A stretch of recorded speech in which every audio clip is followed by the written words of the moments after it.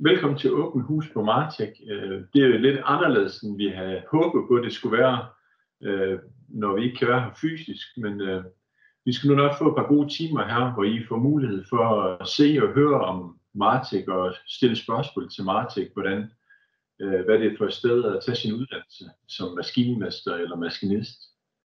Jeg vil så lige fortælle omkring programmet her. Vi, vi starter her med at lave en, en lille øh, et oplæg omkring uddannelsen. Og det oplæg, det vil øh, samtidig med øh, vil vise nogle små videoer i løbet af det her oplæg. Øh, og det er for, at øh, man kan sige, nu kan I ikke komme rundt og se skolen i dag, så vi prøver at vise jer lidt rundt på den måde. Vi vil, øh, vi vil lave sådan en lille rundvisning ved hjælp af nogle videoer, øh, som I kan se der. Øh, det er den første time cirka med de to ting. Så får vi besøg af Morten Smedegaard. Morten er tidligere studerende her fra Martek, øh, maskinmester. Øh, en dygtig en af slagsene. Øh, det er der mange af, men han er en af de dygtige. Øh, og han vil fortælle lidt omkring, hvad han går og laver i dag, sådan så I kan høre lidt omkring uddannelsen. Hvad, hvad skal der til for at komme ind på uddannelsen? Og det vil jeg fortælle jer om nu her, og hvad er uddannelsen, hvordan er uddannelsen bygget op? Og så vil Morten helt sikkert fortælle jer lidt om, hvad han går og laver i dag, hvad han kan bruge uddannelsen til. Og han vil måske også fortælle jer lidt omkring, hvordan det var at gå på Martek. Det første, jeg sådan lige vil fortælle om, det er, hvorfor, hvorfor blive maskinmester?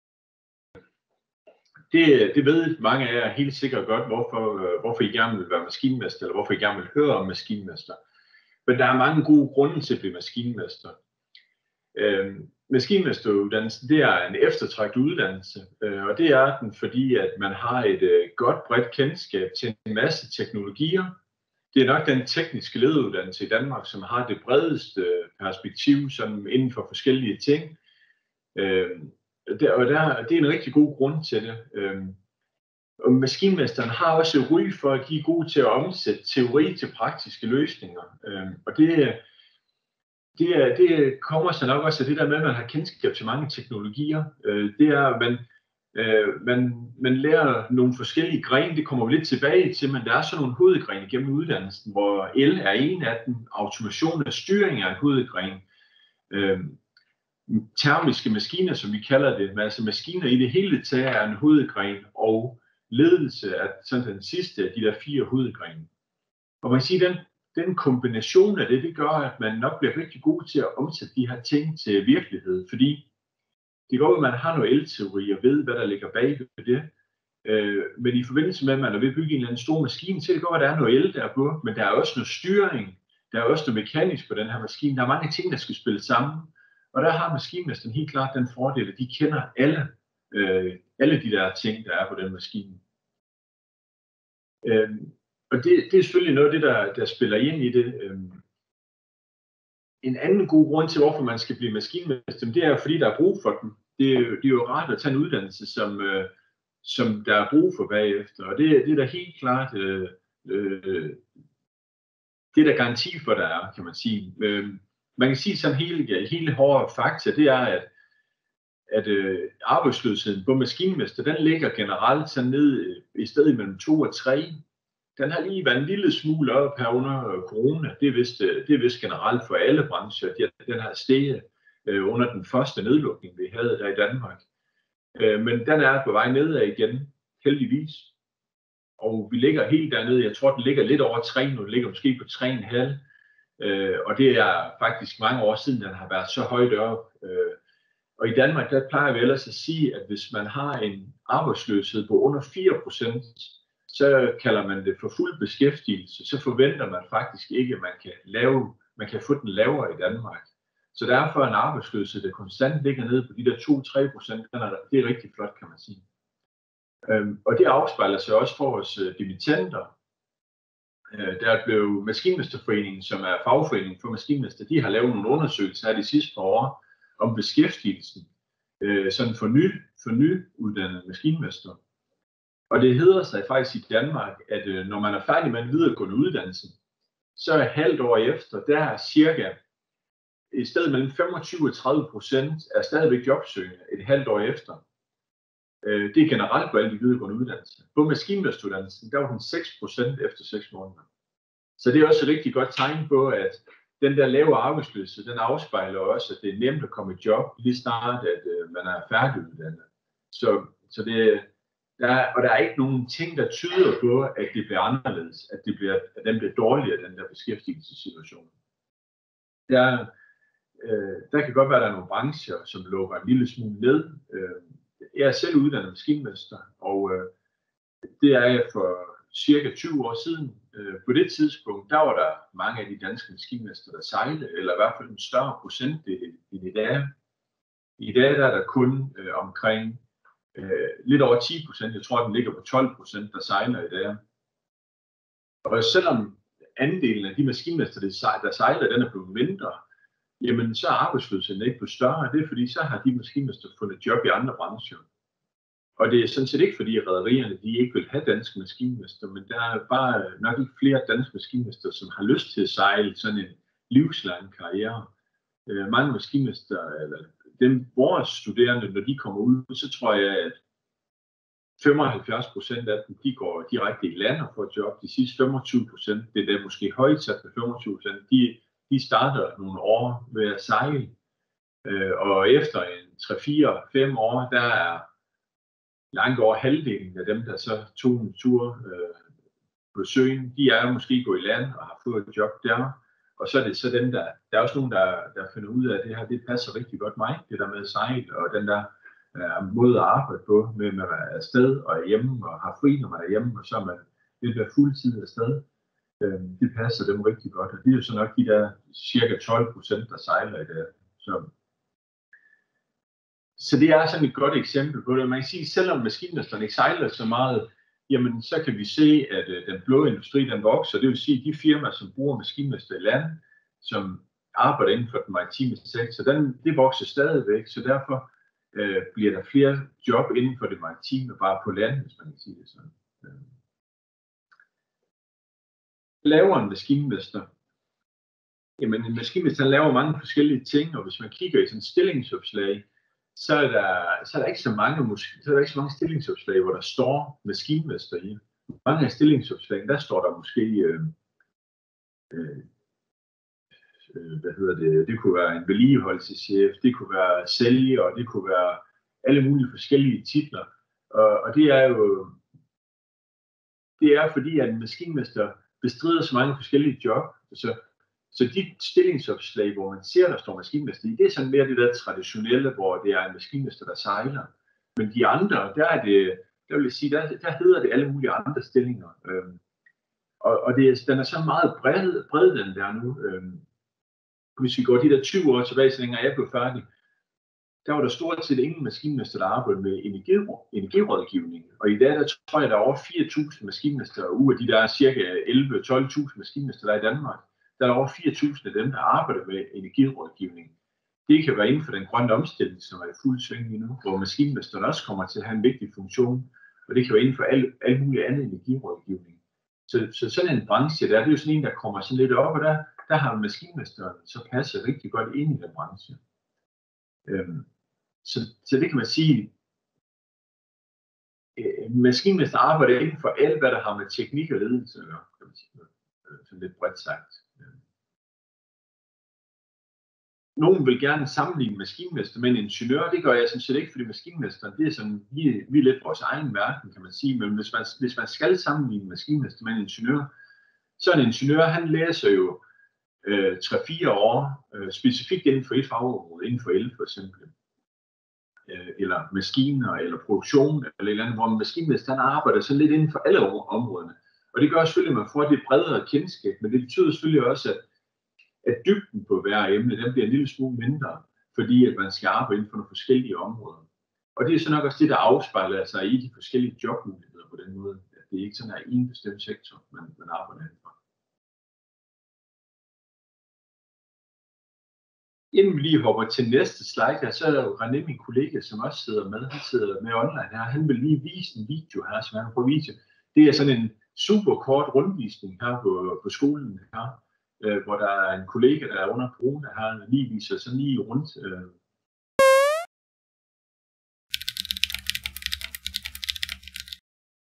Robot 239.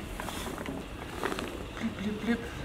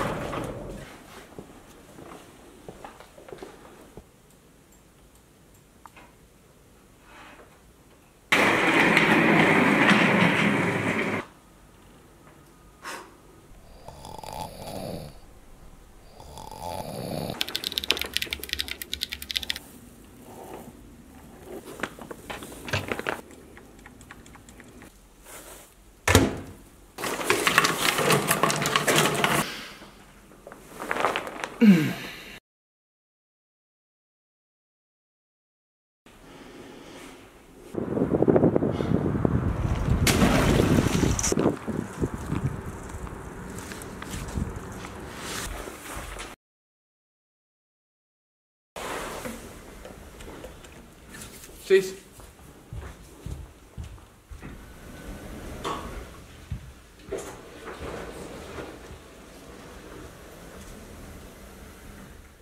Hvorfor skal man vælge Martek? Jamen, der er selvfølgelig noget geografisk i, hvor man vælger at lede sendene. Det kommer nok lidt an på, hvor man bor hen i landet også. Men jeg sige, der er andre rigtig gode grunde til at vælge Martek end kun geografien. Vi har nogle rigtig fine faciliteter, hvis vi ser sådan på undervisningslokaler, laboratorier.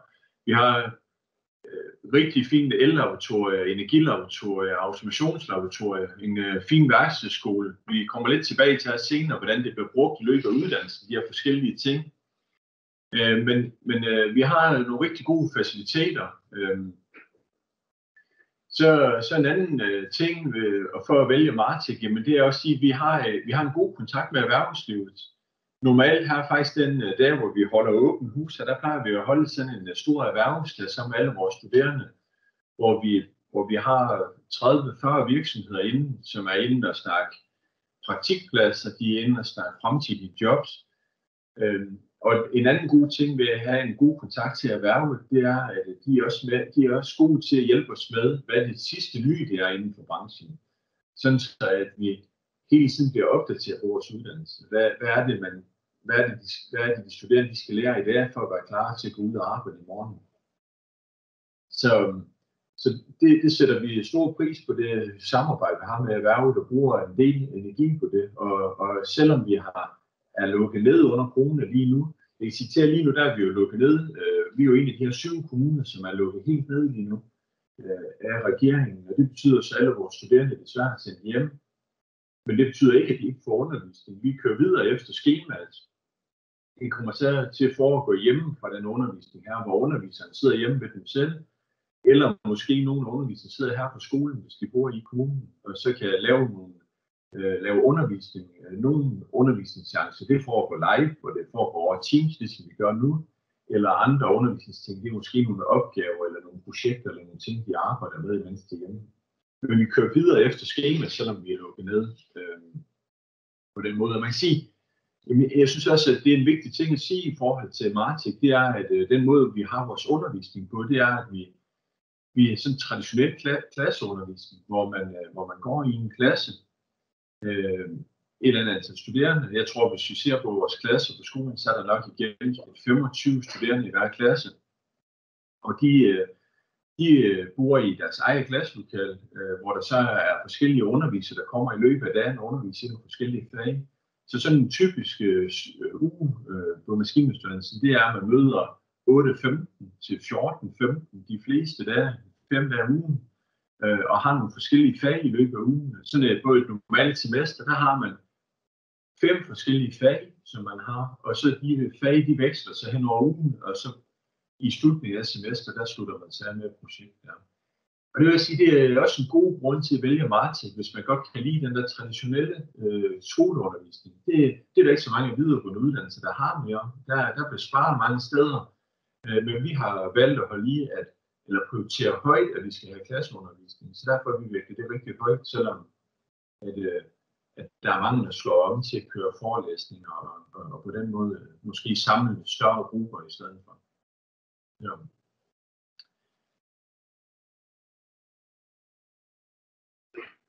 lidt omkring, hvad man kommer ind på uddannelsen. I har sikkert forskellige baggrunde, mange af jer, der sidder her. Man kan sige, at der er sådan to hovedveje ind på uddannelsen. Enten så kommer man med en øh, gymnasiel baggrund, eller så kommer man med en faglig baggrund. Hvis man kommer med den gymnasielle baggrund, så har man en eller anden studentereksamen. Det kan være HTX, det kan være HF, STX, HHX, øh, det kan være forskellige gymnasielle uddannelser. Alle gymnasielle uddannelser er adgangsgivende til maskinmestuddannelsen. Når man så kommer ind med den studentereksamen, efter det, så skal man en tur på værkstedsskole. Øhm, og værkstedsskolen, den tager sammenlagt halvanden år. Der er man først øh, stykke tid på værkstedsskole, og efterfølgende er man i praktik. Det kommer vi lidt tilbage til, hvordan det er delt op. Når man så har gennemført det halvanden år på værkstedsskolen, så kommer man ind på den treårige teoretiske del af maskinmestuddannelsen. Og hvis vi så lige venter der, så vil sige, så hvis man så kommer med et svendebrev, det er den anden vej ind på uddannelsen, det er, der kommer man med en faglig uddannelse. Det kan være en elektriker, det kan være en skibsmontør, automekaniker, og mange forskellige inden for generelt det, man kalder for de sorte fag. De er adgangsgivende til uddannelsen. Og øh, der skal man så på et adgangskursus, som tager 6 måneder. På et adgangskursus, der har man så fire fag. Det er dansk og engelsk, og så er det matematik og fysik. Dansk og engelsk, det har man på C-niveau, og matematik og fysik, det har man på B-niveau. Efter adgangskurset på de 6 måneder, så kommer man ind på det treårige studie, altså det treårige teoretiske studie, kan man sige. Så det vil sige, lige meget hvilken baggrund man kommer med, oprindeligt, når man går ind ad døren her, hvis man har en teoretisk baggrund fra en gymnasiel baggrund, så putter vi noget praktisk på den baggrund med noget værkstedsskole og noget praktik. Kommer man med svendebrev. Hej. Okay. Øh, kommer man med svendebrev, så, så skal man have et adgangskursus. Øh, og det adgangskursus, der bygger man så noget teoretisk oven på det praktiske, man kommer med. Så det vil sige, når man begynder på den treårige del af uddannelsen, så har alle sammen, der sidder i klassen, så har de både en god teoretisk ballast i form af en gymnasielle fag, og de har en god praktisk ballast i form af noget håndværksmæssigt, enten fra Svendebrev eller fra øh, vores værkstedsskole. Så er der den søjle, der ligger i midten her. Det er, der kan være nogen, der både har en gymnasiel baggrund og en faglig uddannelse. Øh, eller der kan være nogen, der har taget en øh, lærlinguddannelse, altså en EUX-uddannelse, hvor man har gymnasielle fag i løbet af uddannelsen. Øh, og, og den er så direkte adgangsgivende, kan man sige, øh, hvor, hvor man så kan komme direkte fra, fra den der øh, uddannelse ind på øh, den teoretiske uddannelse. Øh, og der kan man sige, at der er også lidt specielt i forhold til andre bacheloruddannelser, hvor, hvor der er det her krav om både en praktisk erfaring og en teoretisk erfaring, når man kommer ind på uddannelsen. Øh, og det er nok også en af grundene til, at vi har et ry for, at vi er gode til at omsætte øh, teori til, til praksis. Øh, fordi at man har øh, forståelsen for, øh, hvordan tingene er lavet i virkeligheden, altså, skal man sige. Det er ikke, man har ikke kun lært det teoretisk, hvordan tingene er skruet sammen. Øh. Velkommen til Martek. Øh, mit navn det er Martin Sørensen. Jeg er underviser og koordinator på Marteks Værktøjsskole, også kaldet Maskinteknisk Afdeling. Øh, jeg vil vise jer rundt ind på værkstederne nu, Øh, så lad os gå indenfor. Det er jo sådan, at øh, første semester øh, på værkstedskolen, jamen det, er, det tager 20 uger. Og øh, de 20 uger, dem har vi delt op i nogle moduler. Øh, vi har øh, vores øh, grundskolemodul, øh, som vi, vi ser herinde. Øh, lige pt. er der ikke nogen studerende i gang herinde. Men øh, det, er, øh, det er et modul, hvor vi, øh, hvor vi underviser i, øh, i de øh, grundlæggende værkstedstekniske øh, øvelser. Det kan være borende huller, det kan være bukken og plade eller bukken og rør. Vi prøver at gå ind og kigge. Jeg har et, et lille udsnit af de opgaver, vi laver her. Vi har inden for, for pladearbejde, der laver vi en værktøjskasse, som, som man må have lov at tage med hjem og bruge. Øhm, vi har en lille opgave, øh, en, øh, en flagstang, som det er sådan primært en, en filopgave og en boreopgave. Der er lidt, øh, vi har lidt øh, rørarbejde, hvor man vi leger lidt med lidt, øh, lidt koldbuk, og vi, vi prøver at, at fit med rør sammen. Udover det, så har vi øh, nogle, nogle andre små opgaver, noget med, om, der vedrører løsbare sammenføjninger og så videre. Men det er sådan, det, det er mest det, det værkstedstekniske, grundlæggende øh, værkstedsteknik. Øh, ja. Hvis vi, øh, hvis vi vender rundt og, og bevæger os lidt længere ind i værkstedet, så har vi, øh, og det støjer en lille smule her, men der har vi vores øh, termisk sammenføjning. Øh, og øh, jamen, termisk sammenføjning, det er, det er svejsning. Og når vi snakker svejsning, de svejsprocesser, vi kommer igennem, jamen det er, det er lidt marksvejsning. Vi kommer igennem øh, uh, tiksvejsning, elektrodesvejsning og en lille smule lille gassvejsning. Øh, det modul her, det tager 5 uger. Øhm, på samme måde, det, det gjorde grundlæggende værkstedsteknik også. Øhm, hvis vi trækker en tand længere ned, så kommer vi ned i øh, spontane bearbejdning, og øhm, der er lidt mere gang i værkstedet hernede i den her ende. Øhm, men det er, øh, der lærer man de øh, spontane teknikker, hvor vi står ved drejebænker og fræser. Og øh, vi kan se nogle af de opgaver, vi laver her. Der har vi en, en, en lille drejeopgave her, en håndvægt. Vi har lidt introopgaver og fræseopgaver, som så ender ud med, at man kan lave en lille, en lille maskinskruestik. Vi har lidt forskellige drejeøvelser her. Vi har lidt værktøj, vi kan putte i værktøjskassen, som vi laver på grundskolen. Vi laver en lille dundkraft. Vi har to hammer, hvor den ene det er en drejeopgave, og vi har en fræseopgave her, eller kombinere. Øhm, og det er også et modul, som tager, øh, som tager fem uger at komme igennem. Øh. Det sidste modul, øh, det, er, det er det modul, der hedder motorlærer. Og motorlærermodulet, jamen det indeholder, ja, det ligger lidt i ord, men når motorlærer, hvor vi adskiller motorer og samler dem igen, og vi øver opstart af, af forbrændingsmotorer. I modulet der ligger der også noget ellærer, og der ligger noget hydraulik og pneumatik. Øhm, vi prøver lige at gå en tand længere ind. Når man er færdig med de øh, øh, fire moduler, vi har grundlæggende værkstedsteknik, vi har spontane, vi har termisk sammenføjning og motorlærermodule, jamen så er man faktisk igennem de første 20 uger på værkstedsskolen, og det som vi kalder for første semester. Dernæst så, øh, så, så har man øh, på anden semester, det er det vi kalder for vores projektperiode, øh, der, øh, der befinder man sig inde i vores øh, nye projekthal herinde. Øh, og der er der egentlig fri leg, der skal man, øh, de færdigheder man har tilegnet sig på de første 20 uger, dem skal man prøve at binde sammen til et, øh, et projekt. Og øh, vi har nogle projekter til at stå fra det sidste øh, forløb, og det kan vi prøve at gå ned og kigge på. Den her gang, øh, der har det været en bunden opgave, øh, og øh, den er bestået i, at man skulle, øh, man skulle prøve at lave øh, noget undervisningsmateriale, som vi kunne bruge i vores undervisning, daglig undervisning. Og der har været to grupper, som har lavet pneumatik, altså luftstyring, og der har været to grupper, som har lavet øh, hydraulik. Det projekt, vi har med at gøre her, det er, det er et øh, pneumatisk øh, anlæg, øh, de studerende har lavet.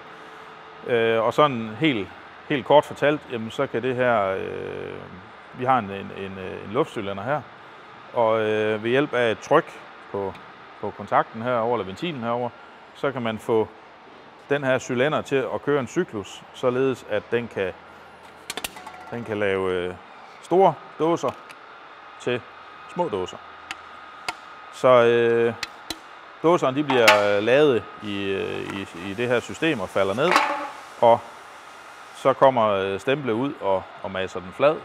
Og hernede der har vi en lille øh, anordning, der sidder også en, en pneumatisk cylinder, som så skubber det, det sammenpressede emne ud. Øh, den næste, vi ser herover, det er et hydraulisk anlæg. opgaven var at, at, at ja, lave en hydraulikpult, som vi kunne bruge til undervisning, men der var også lidt fri leg i forhold til at få den til at lave noget. Så de har lavet sådan et, et, et pakkesorteringsanlæg, kan man næsten kalde det, altså hvor man har en, man kan forestille sig, at der står en kasse heroppe, og hydraulikstemple her, det skubber kassen ud på transportbåndet, som så transporterer det videre ud øh, til endestationen. Så har vi en, øh, et anlæg her, øh, også et øh, pneumatisk anlæg, øh, og de unge mennesker, de har simpelthen lavet en boldkaster. Igen er det en, øh, en, øh, en undervisningsstand, øh, altså en pult, hvor vi kan undervise fra.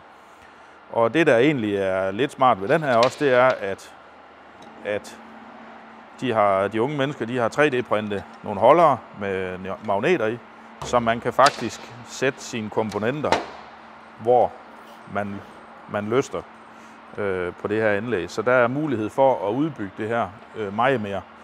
Øh, det er bare et spørgsmål om at få nogle flere komponenter på. Normalvis på projektperioden, der, har vi, øh, der er der faktisk fri leg. Man får en pose penge, man bliver puttet i en gruppe, og øh, så skal man selv øh, finde på et eller andet. Man skal selv øh, skabe ideen, man skal selv projektere, budgettere og planlægge og udføre arbejde øh, på baggrund af de færdigheder, man har fået på første semester. Øh, en øh, tidligere projektopgave, som øh, den står her, det er ved at være noget tid siden, den blev lavet, men det er en lille dampmaskine. Øh, en dampkedel, og så har vi, øh, og så har de lavet en, øh, en, en, en dampmotor. Efter en projektperiode, der, øh, der går man så over til, til, til tredje semester, og det er, det er praktikperioden. Det er sådan, øh, inden at man starter på teorifagen, der skal man ud i praktik, og det kan enten være 9 måneder til lands eller, eller 6 måneder til vands. Det er selvfølgelig ikke øh, praktisk arbejde det hele, når man går her på værkstedskolen, fordi øh, for hver fag vi har, jamen der har vi selvfølgelig bundet noget teori op på det. Og øh, der har vi et par teorilokaler, der er tilknyttet. Vi kan lige prøve at stikke hovedet ind i, der sidder nogle unge mennesker og arbejder herinde. Så, øh, så der har vi simpelthen øh, kommende maskinmestre, som, øh, som har maskinlærer. Velkommen til Aalborg. Så er vi på Julemærvej 28. Jeg vil egentlig gerne have lov at, at, og give dig en rundvisning ind på vores værkstedsfaciliteter her i Aalborg. Så lad os gå ind.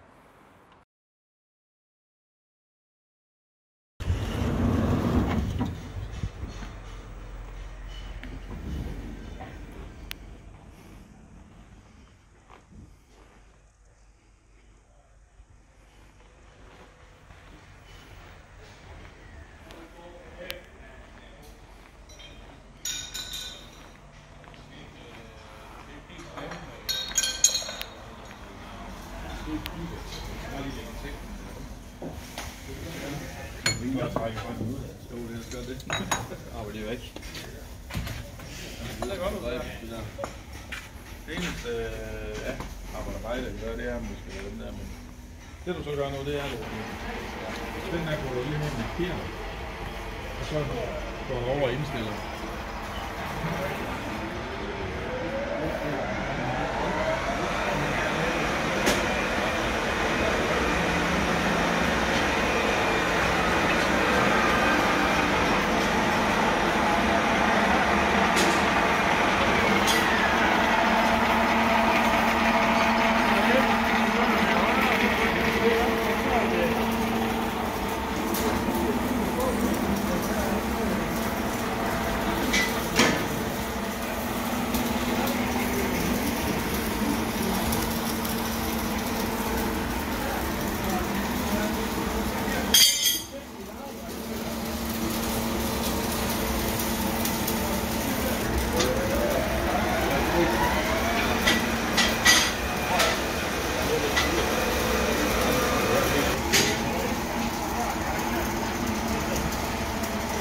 som Martin viste os, både fra og i Aalborg, så kommer man igennem de her forskellige discipliner, altså man lærer at svejse, man lærer at dreje og fræse, man lærer at lave noget pladearbejde, og, og kommer igennem de her discipliner og lærer noget motorlærer, nogle forskellige ting, der er i løbet af de første seks måneder, og så går man over i den projektperiode, hvor man laver det der projekt. Og jeg synes, at øh, de billeder, vi trods alt så, det viser jo meget godt, at på den der korte tid, på de seks måneder, man har på værkstedsskolen, der har man en, øh, en rigtig, man, man får en rigtig fin baggrund for at arbejde med de her håndværksmæssige ting, og man kan faktisk lave et rigtig fint projekt på baggrund af de der seks måneder. I skal med alle dem, som går over på værkstedsskolen, de kommer med en kommersiel baggrund, og har ikke et eller andet svendebrev inden for et eller andet område. De, den, den erfaring, de har med det her, det er noget, de har lært på de der seks måneder på værkstedsskolen, inden de går i gang med deres projekt. Så, så det giver bare lige sådan et billede af, hvordan det hele det ser ud, ikke også? Øh, på værkstedskolen, og det er lidt sådan hverdagen, den fungerer derovre, at man går i værkstederne der. Efter man er igennem værkstedsskolen, eller efter man er igennem adgangskurset, adgangskurset, det kører jo så parallelt ved siden af sammen med værkstedsskolen. Det vil sige, dem der så kommer med en håndværksmæssig baggrund, de går så på adgangskurset samtidig med, kan man sige. Så de, øh, det, er jo så, det tager så kun 6 måneder, hvor man har fire gymnasielle fag, man har dansk og engelsk på C-niveau, og man har matematik og fysik på B-niveau. Og det betyder selvfølgelig også, at når man skal have fire gymnasielle fag på et halvt år, så er der fart på. Så det vil sige, der har man nogle dage, hvor man, man arbejder med de her fire emner, og det kan jo godt virke voldsomt, øh, når man kommer ind. Man har måske de sidste, øh, de sidste år, der har man været ude og arbejde øh, med det fag, man er, er lærer som, og måske er uddannet og arbejdet nogle år som Svend.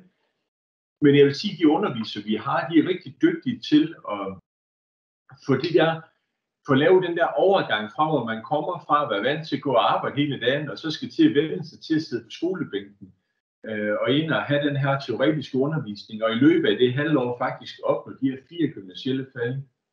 Vi har nogle undervisere, som ad, øh, underviser på vores adgangskursus, som har gjort det.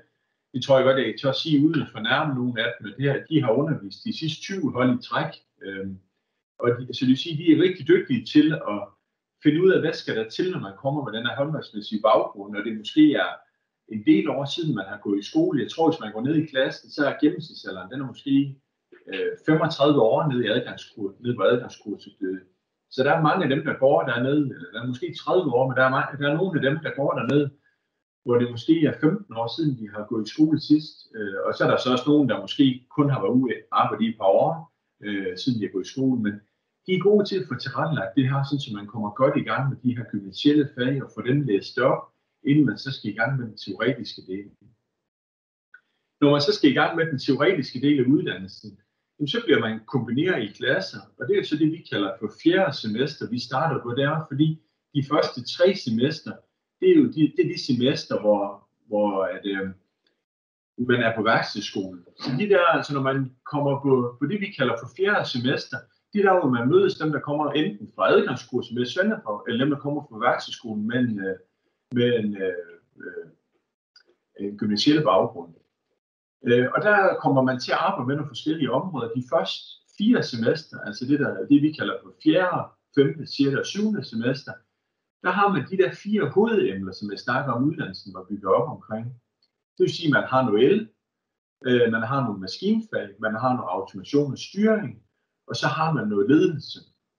De der fire hoveddrenge, de går igen hele vejen op igennem de her fire semester.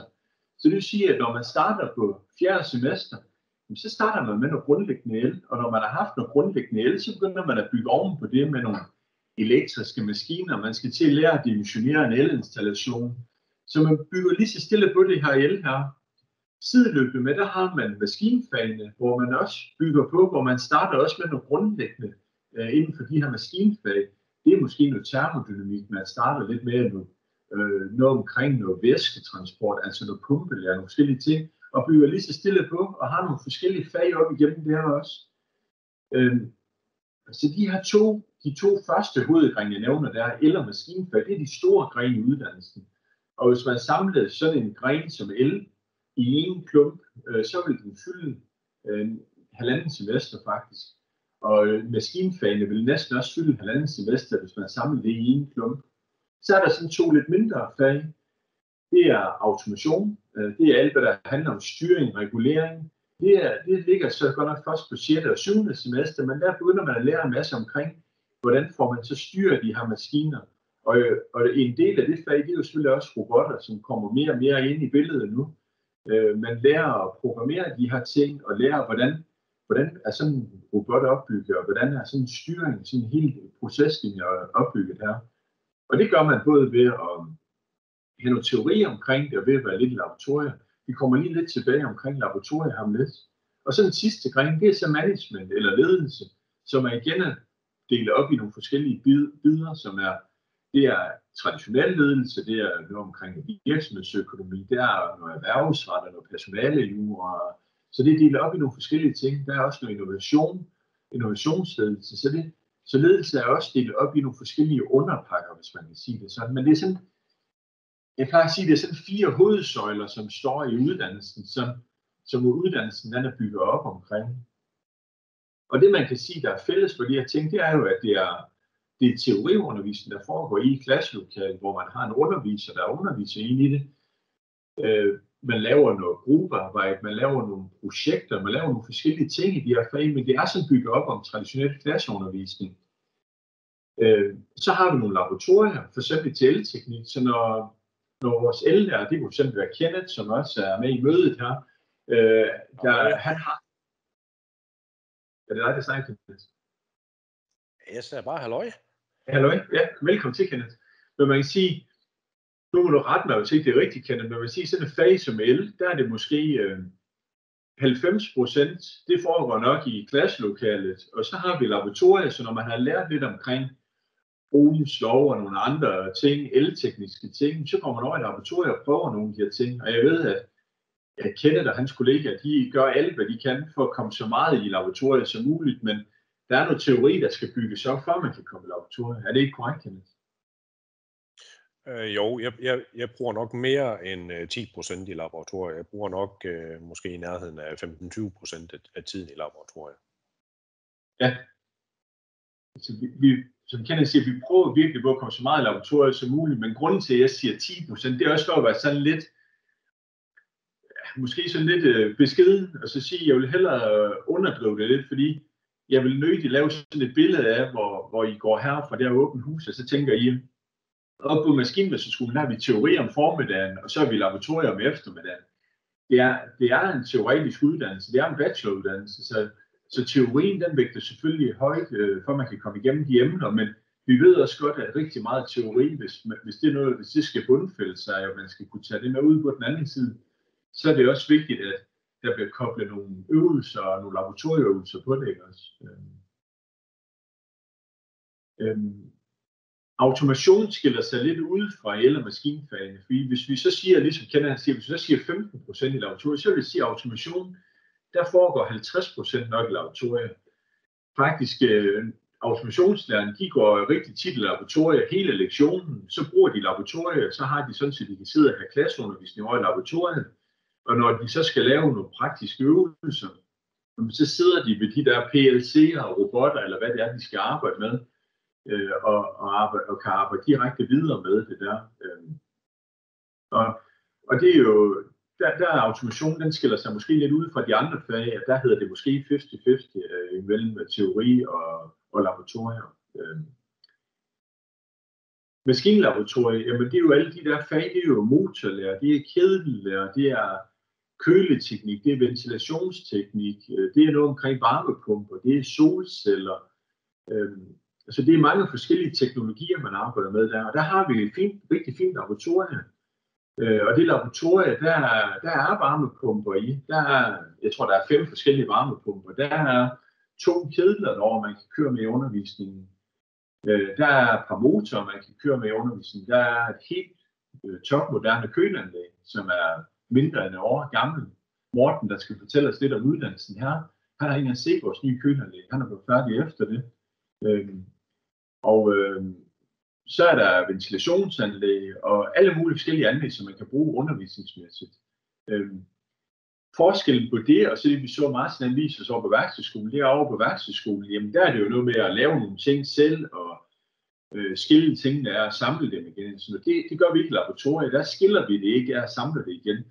Der går vi over og kører med tingene, prøver at se, hvordan de virker, øh, tager nogle målinger derpå, og tager nogle af de målinger med over i klassen bagefter og prøver at beregne på de målinger og se om den teori, vi har lært inden for faget, om den så hænger sammen med de målinger, vi har lavet over i laboratoriet, og om man så lidt grovt sagt hænger det sammen med virkeligheden.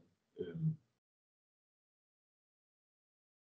Det er sådan det, der sker fra de første fire semester. Så er det femte semester eller 8. semester, hvis du tæller fra værkstedskolen op, så er det 8. semester, der har vi det, vi kalder for valgfagslinjer. Der vælger man en øh, linje, man gerne vil arbejde videre med.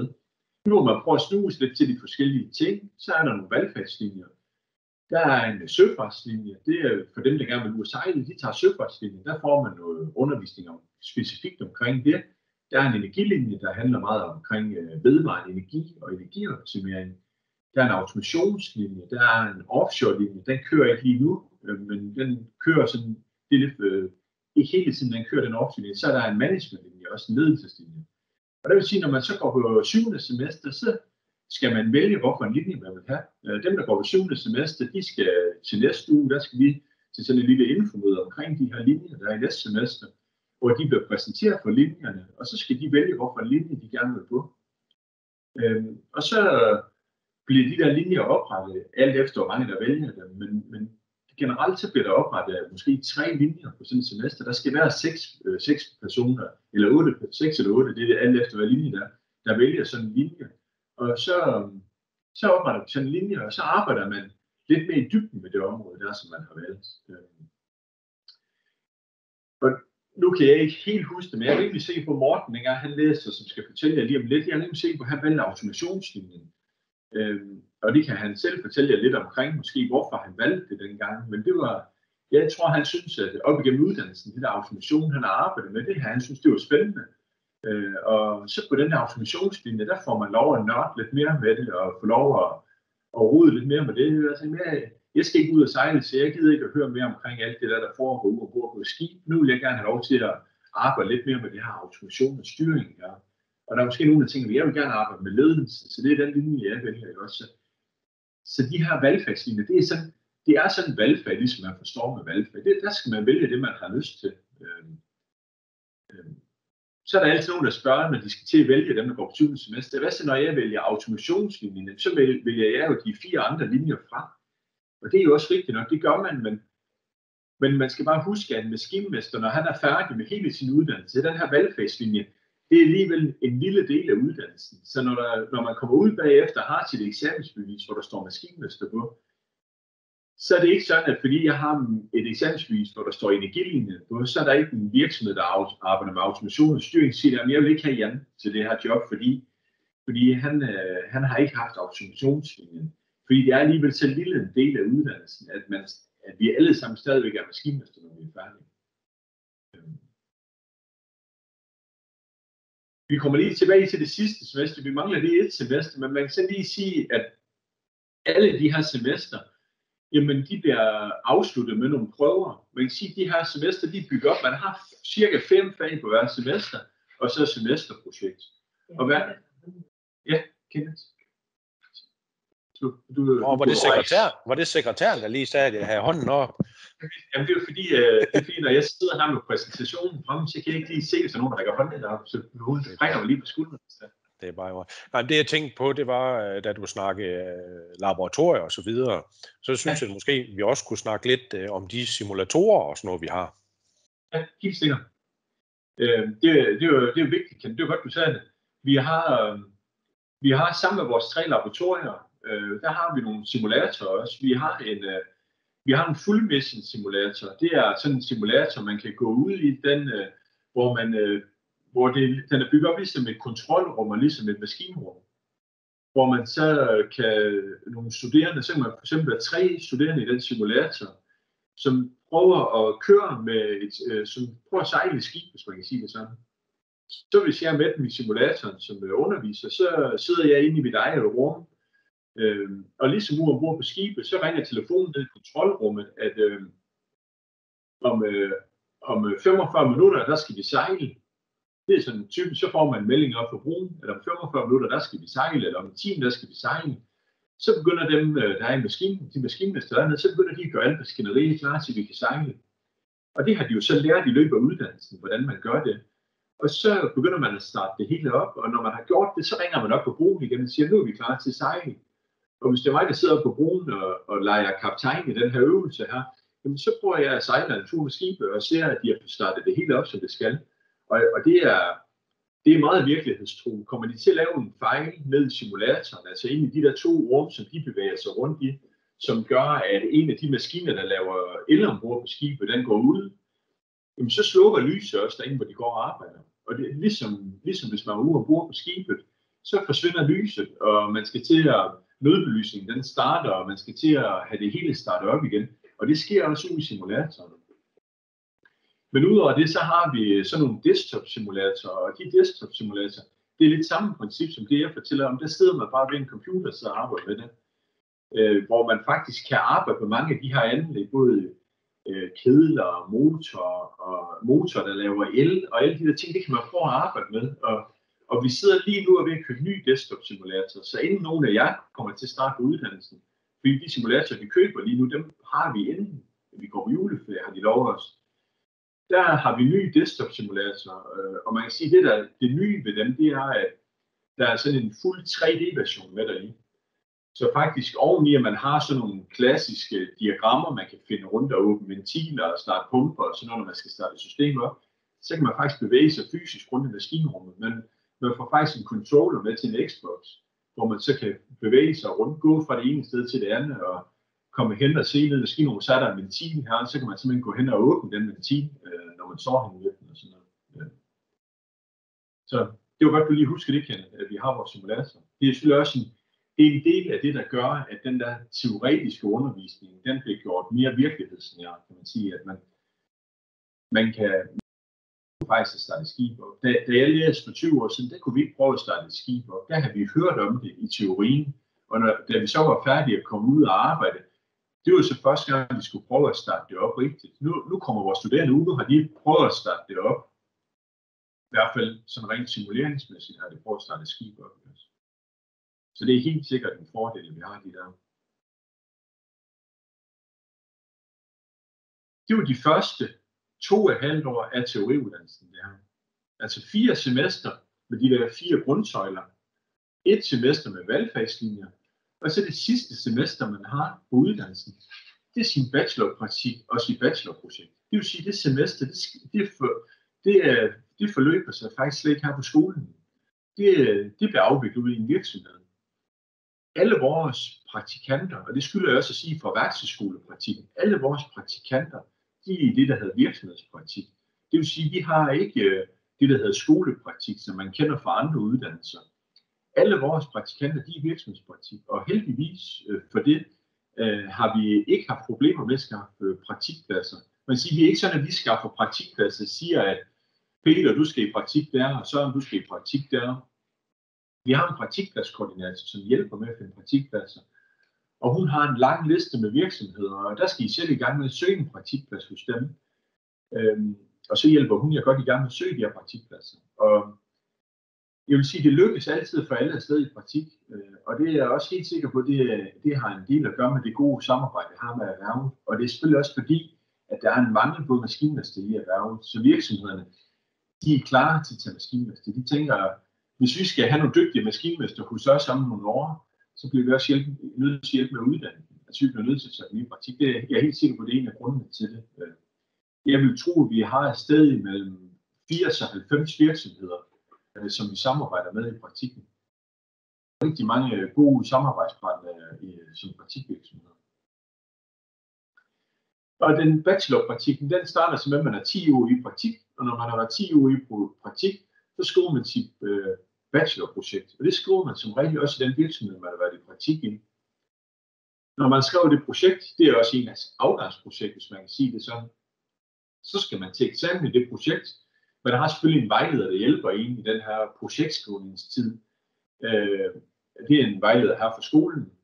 Øh, der mødes man nogle gange øh, og, og, og, og kigger på det her projekt sammen, og sådan, så man er sikker på, at man er på rette vej. Og så den her vejleder sammen med en eksaminator, eller sammen med en sensor, de eksaminerer egentlig det her projekt. Og det er sådan set den afsluttende eksamen, man har på, på uddannelsen.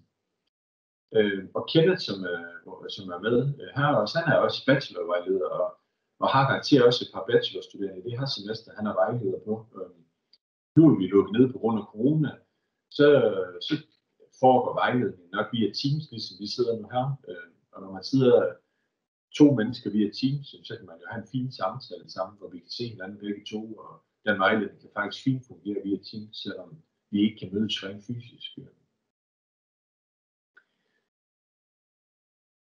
Vil du, have en, kom- vil du have en kommentar til det? Ja. Eller? Ja. Ja, rent faktisk, så jeg, har, jeg er vejleder for en, men øh, han, han skriver så i Frederikshavn, så jeg har faktisk været ude og besøge ham i, i sidste uge øh, hvor han er ved at lave en, en maskine, der skal hjælpe den virksomhed, hvor han er i, til at kan automatisere nogle ting. Så, så jeg, jeg forsøger, når jeg er vejleder, at, at tage ud og besøge de studerende i virksomheden, hvis jeg kan komme afsted med det, for at få lidt øh, tættere kendt, hvad de går og skriver om. Ja, Og det er jo så også, selvfølgelig, fordi du også bor i kommunen, Kenneth, og han arbejder i kommunen, så I stadigvæk kunne, kan, ja. så kan I stadigvæk mødes nu her, kan man sige. Ikke? også? Det, det var så også før. Det var, det var Ja, okay. torsdag, torsdagen før fredagen, han har sagt. Ja, okay. Så der kan man være lidt heldig en gang imellem. Jamen, det er rigtigt. Men det er rigtigt, der er også vejledere, der tager ud i virksomheden øh, og, og besøger derude, og det er også tit, at det, det kan være rigtig fint, at man, så får man jo også lov at se, hvad den studerende han arbejder med derude, og, og, og, og kan måske vejlede ham endnu bedre. Ikke? Så, øhm. Og så vil sige, det er sådan set øh, i grove træk uddannelsen. Altså de der, man kommer med en baggrund enten som, øh, som student og skal via værkstedsskolen i halvanden år sammen med praktikken, og efter det, så er man tre år på øh, selve teoriuddannelsen, hvor det sidste halve år, det foregår ude i en virksomhed.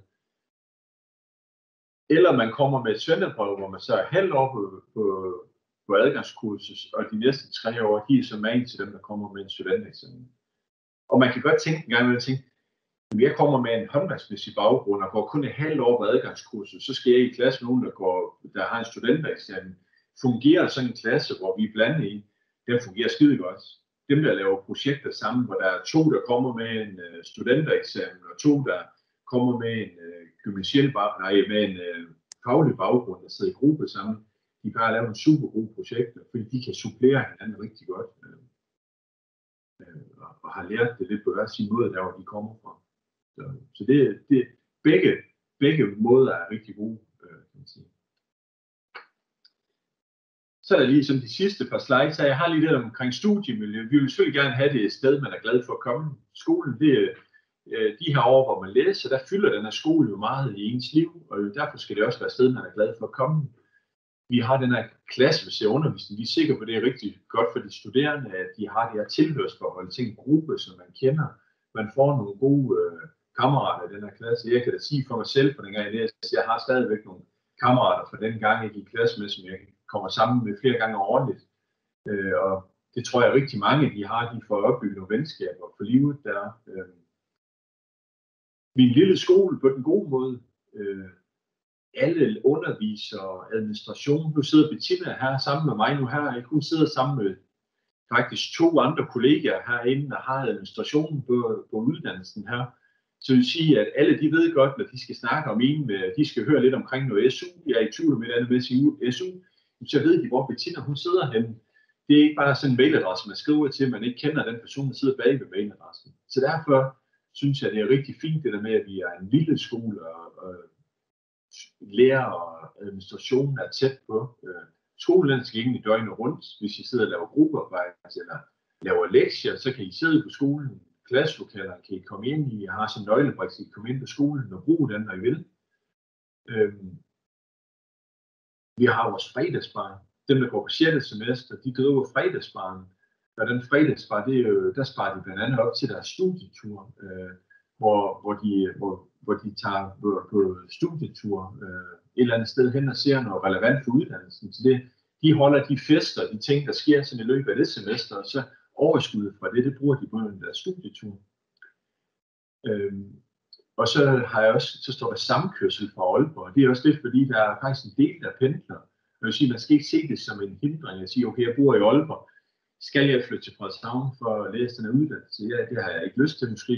Øh, man kan sagtens bo i Aalborg og pendle. Jeg vil tro, at halvdelen af vores studerende, de pendler hver dag øh, til skolen. Øh, og det fungerer fint. Øh, folk er gode til at finde ud af at køre sammen. Man finder hurtigt nogen i klassen, der også ligger og kører den tur, og bliver enige om, at nu er vi fire, der kører sammen, og så skal jeg kun køre hver fjerde uge, eller det, man giver en eller anden øh, til kørsel, eller det kan være en, der ikke har bil, så giver han en eller anden til kørsel i stedet for. Det fungerer altid rigtig godt. Så så jeg synes, at på den måde er vi en lille skole på den gode måde, men at vi har en tilpas størrelse til, at vi også har de faciliteter, der skal til. Vi mangler ingenting. Det vil sige, at øh, øh, vi har rigtig gode faciliteter til den uddannelse, vi har. Den finder man ikke meget bedre i Danmark. Studieturen, jamen den kan gå mange steder hen. Det, det, er, det er både for at få noget socialt, men det er jo også øh, vigtigt, at man får noget fagligt ud af den. Men det sociale er også rigtig vigtigt, i natur. Man har en god tur som klasse, øh, og kan komme ud og opleve noget. Øh. Så er der den anden sidste slide så det er lidt omkring internationale muligheder. Hvis man går sådan lidt med tanken om, at man godt kunne tænke sig at komme lidt ud, jamen så er der faktisk gode muligheder for det. Det 8. semester, det jeg fortalte om, det der semester, hvor vi har valgfagslinjer, de kan man vælge at tage i udlandet. Det kan man tage på udenlandsk universitet. Det, det semester, man skal ud og tage, det skal handle omkring noget teknik øh, eller noget ledelse. Der er sådan lidt krav til, hvad det skal handle om. Men der er faktisk rigtig gode muligheder for at kunne tage det i udlandet. Og der er vi super heldige, når vi kommer fra Danmark, at man kan få lov at tage sin SU med sig, når man skal ud øh, på et semester i udlandet.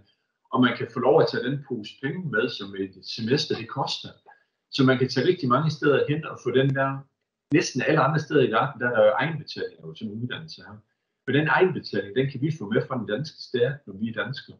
Så vi kan tage de penge med ud, og så sådan set få betalt, øh, at vi tager det semester i udlandet. Vi har fire studerende, der skal afsted i januar, øh, og det ser ud til, at det lykkes, selvom corona. De skal faktisk til Hawaii på universitet derovre og læse nogle fag, det øh, handler om ledelse og teknik, de fag, de tager. Det handler rigtig meget om ledelse, de fag, de tager. Øh, så de er fire studerende herfra, der drager afsted sammen, øh, og tror, de har planer om at lege en lille lejlighed sammen og bo sammen og det der. Så det bliver også en oplevelse for dem at komme afsted. Også. Det er absolut ikke et krav, man skal ud og læse. Jeg vil også sige, at det er måske sådan, på hver årgang, der har vi sådan to, tre, fire stykker, der er afsted der på det der 8. semester. Der. Men det er en mulighed. Og man kan selvfølgelig også tage sin praktik, både værkstedsskolepraktikken og den afsluttende bachelorpraktik, den kan man også tage i andre lande. Der er mange af de store danske virksomheder, som jo også har afdelinger i udlandet, og der, er, der er en del studerende, der har været der. Der er nogen, der har været i Brasilien, både hos øh, uh, Man Diesel og Vesterborg Marine Service og Alfa Faktisk de tre virksomheder har haft praktikanter i Brasilien. Uh, og der er selvfølgelig rigtig mange, der sejler andre steder i verden også. Så der er god mulighed for at komme ud, hvis man gerne vil det også på den der konto. Den sidste her, øh, det er lidt omkring adgangskrav. Øh, det vil jeg ikke gå, så, det vil ikke gå så meget i dybden med. Hvis der er nogen, der har spørgsmål til det, så spørg til det. Men generelt, man kan komme ind, hvis man har studentereksamen, eller man kan komme ind, hvis man har et svendebrev inden for de sorte fag. Så er der nogen, der har noget erhvervserfaring, som vi kan vurdere i stedet for. Så kommer spørg specifikt, hvis det er, så, så er vi klar til at hjælpe med det, både i aften og, og også hvis der er nogen, der, øh, har nogle spørgsmål, så er I også velkommen til at skrive til os efter i aften. Og hele uddannelsen er selvfølgelig SU-berettiget. Hvornår starter vi? Vi starter hver halve år på alle vores ting. Det vil sige, at adgangskurset starter hver halve år. Værkstedsskolen, dem der kommer fra gymnasiet, starter hver halve år. Og vores fjerde semester, dem som er færdige med adgangskurset og værkstedsskolen, starter også hver fjerde år. Nej, hver halve år, undskyld, hver halve år. Så alle tre ting starter hver halve år. Det starter i januar, slu, altså lige i slutningen af januar. Jeg tror, den her gang det er den 31. januar, det starter.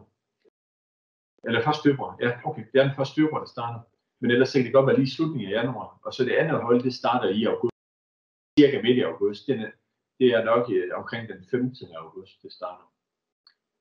Hvis man vil søge ind her på det næste hold her, så kan man, så skal man søge ind senest den 1. februar. Så der er faktisk ansøgning helt frem til til sommeroptag, der er der lidt, der skal man søge ind senest den 5. i 7. til det optag, der så starter der i ah, midt i august måned. Ja. Hvis man vil søge ind her til januar, så skal man bare gå ind på vores hjemmeside. Nu står der godt nok, at man skal søge ind via den her optagelse.dk. I kender sikkert optagelse.dk, mange af jer. Det er jo der, man kan søge ind på alle de videregående uddannelser. Men da vi er en af de få, der har optaget to gange om året, så skal man til vinteroptag, der skal man faktisk søge ind via vores hjemmeside. Der søger man direkte på skolen. Men er man det mindste i tvivl omkring det her optag, så kontakter man os bare. Ligesom man går ind på vores hjemmeside, så kan man se, hvad man kontakter os, både igennem studievejledning, eller man kan ringe direkte på vores hovednummer, og så kan man få hjælp omkring det her. Så hvis man er i mindst i tvivl om det, så øh, kontakter man os bare. Men det næste optag her til jul, eller til vinteroptag, der skal man bare søge på vores hjemmeside. Det er jo sådan den hurtige gennemgang af, hvad det jeg gerne vil have, vi lige skulle ud af den her lille rundtur, det var, hvordan kommer man ind på uddannelsen? Hvad er maskinmesteruddannelsen for en størrelse? Hvad kan man bruge tilbage efter? Hvordan er uddannelsen bygget op? Og hvad har Martin for et sted at være på? Det er selvfølgelig lidt mere diffus, når vi sidder sådan her øh, online, i stedet for at kunne være øh, rigtigt. Øh, men jeg håber alligevel, at jeg får sådan lidt indtryk af, hvad det er for et sted at være. på. Øhm, og I er selvfølgelig meget velkommen til at spørge ind til det. Lige her om lidt, så vil, øh, så vil jeg give ord til Morten, øh, som vil fortælle lidt omkring øh, hans, øh, hvad han laver. Og nu tror jeg, han fortæller lidt om, og måske også lidt om, hvordan det var at være på Martin. Øh, jeg tror, det vil være et par år siden Morten blev færdig hos os. Jeg har faktisk ikke helt styr på det, men det er nok cirka et par år siden, jeg blev færdig som maskinmester hos os. Og ved, at han har fuld fart på en spændende karriere, som I glæder til at høre om. Og så efter Morten, der vil der være spørgsmål, øh, mulighed for at stille et spørgsmål og lidt. Og der vil der komme et par nuværende studerende og hoppe ind i, ind i øh, mødet her, og der går på syvende semester, som vil også vil hjælpe med at svare lidt på spørgsmål og fortælle lidt om, hvordan det er at gå som studerende. Så jeg håber, I hænger ved her den næste times tid her. Uh, det skal nok blive rigtig spændende, det de kommer med. Så vil jeg så give ordet til Morten nu. Øh. Pæn goddag, øh, og tak fordi jeg måtte øh, sige et par ord her i dag. Øh, tak fordi du kunne. Jeg slår min mikrofon fra nu, så vi ikke får noget ekko eller et eller andet. Så ordet er dit, Morten. Jamen, øh, og, og I skal være velkommen til at stille øh, spørgsmål undervejs, så tager vi den bare der. Øh, hvis jeg skal fortælle lidt om mig selv, øh, så er jeg, jeg er 29 år, og, og som Jan han sagde, så var det et par år siden, jeg blev færdig øh, på Martech. Jeg startede i, i 2013, august, og blev færdig her i øh, januar 2018. Øh, nu arbejder jeg ved øh, Arriva Danmark, så det er inden for den kollektive, øh, kollektive transport. Øh, I Arriva, der har vi øh, busdrift, vi har togdrift, så har vi delebilskoncept, øh, der hedder ShareNow over i, øh, over i København. Øh, og så har vi øh, noget uddannelse af buschauffør og nogle, og små færger. Det jeg er inden for, det er bussiden. Det kommer jeg mere ind på senere. Øh, jeg blev bedt lidt om at fortælle, øh, hvorfor jeg har valgt at, at læse til, øh, til maskinmester. Og det gjorde jeg sådan set, øh, fordi jeg stod tilbage i, ja, i 2012-13 stykker der, og, og skulle finde ud af, hvad, hvad det var for en uddannelse, jeg gerne ville tage. Jeg var ikke helt sikker på, hvad det var, jeg gerne ville efter, efter endt uddannelse. Øh, så maskinmesteren var for mig et, et oplagt valg, øh, fordi jeg interesserede mig en del for det, for det tekniske, men, men kiggede også ind i en uddannelse, som, øh, som gav et hav af muligheder. Øh, og nu, øh, nu står man jo her øh, og er færdiguddannet og kan se, at, at det, er, det er ikke helt forkert, det der bliver sagt. Det er en uddannelse, som åbner rigtig mange døre. Jeg tror, at øh, Jan han var inde og beskrive lidt forskellen på en, på en ingeniør mester, og jeg kan se, at Kent også er, er med på kaldet her, og, og der var en, en, en, en frase tilbage fra studietiden, som faktisk dækker rigtig godt, synes jeg. Jeg tror, at Kent godt kan huske den at hvis man skulle beskrive en maskinmester, så var det, øh, så var det ingeniørernes svar på en svejserkniv. Det er ikke et, et specialistværktøj, men, øh, men den kan løse lidt af det hele. Og det, det kan man virkelig som maskinmester. Man får et, et, et helhedsblik øh, for, hvordan samfundet er skruet sammen, hvordan får vi produceret el, øh, hvordan får vi ren vand i, i, i hanerne, og hvordan er det med vores affaldsforbrænding. Øh, så det er i hvert fald noget, jeg kan, jeg kan se, at det, det er noget, man kan bruge i erhvervslivet. Øh, det her med, at, at man kan snakke sammen med mange forskellige faggrupper og har en, en bred teknisk øh, forståelse. Men jeg, jeg startede øh, øh, som øh, jeg startede der i 2013 og, og kom ind på uddannelsen med en, øh, en HTX øh, i bagagen.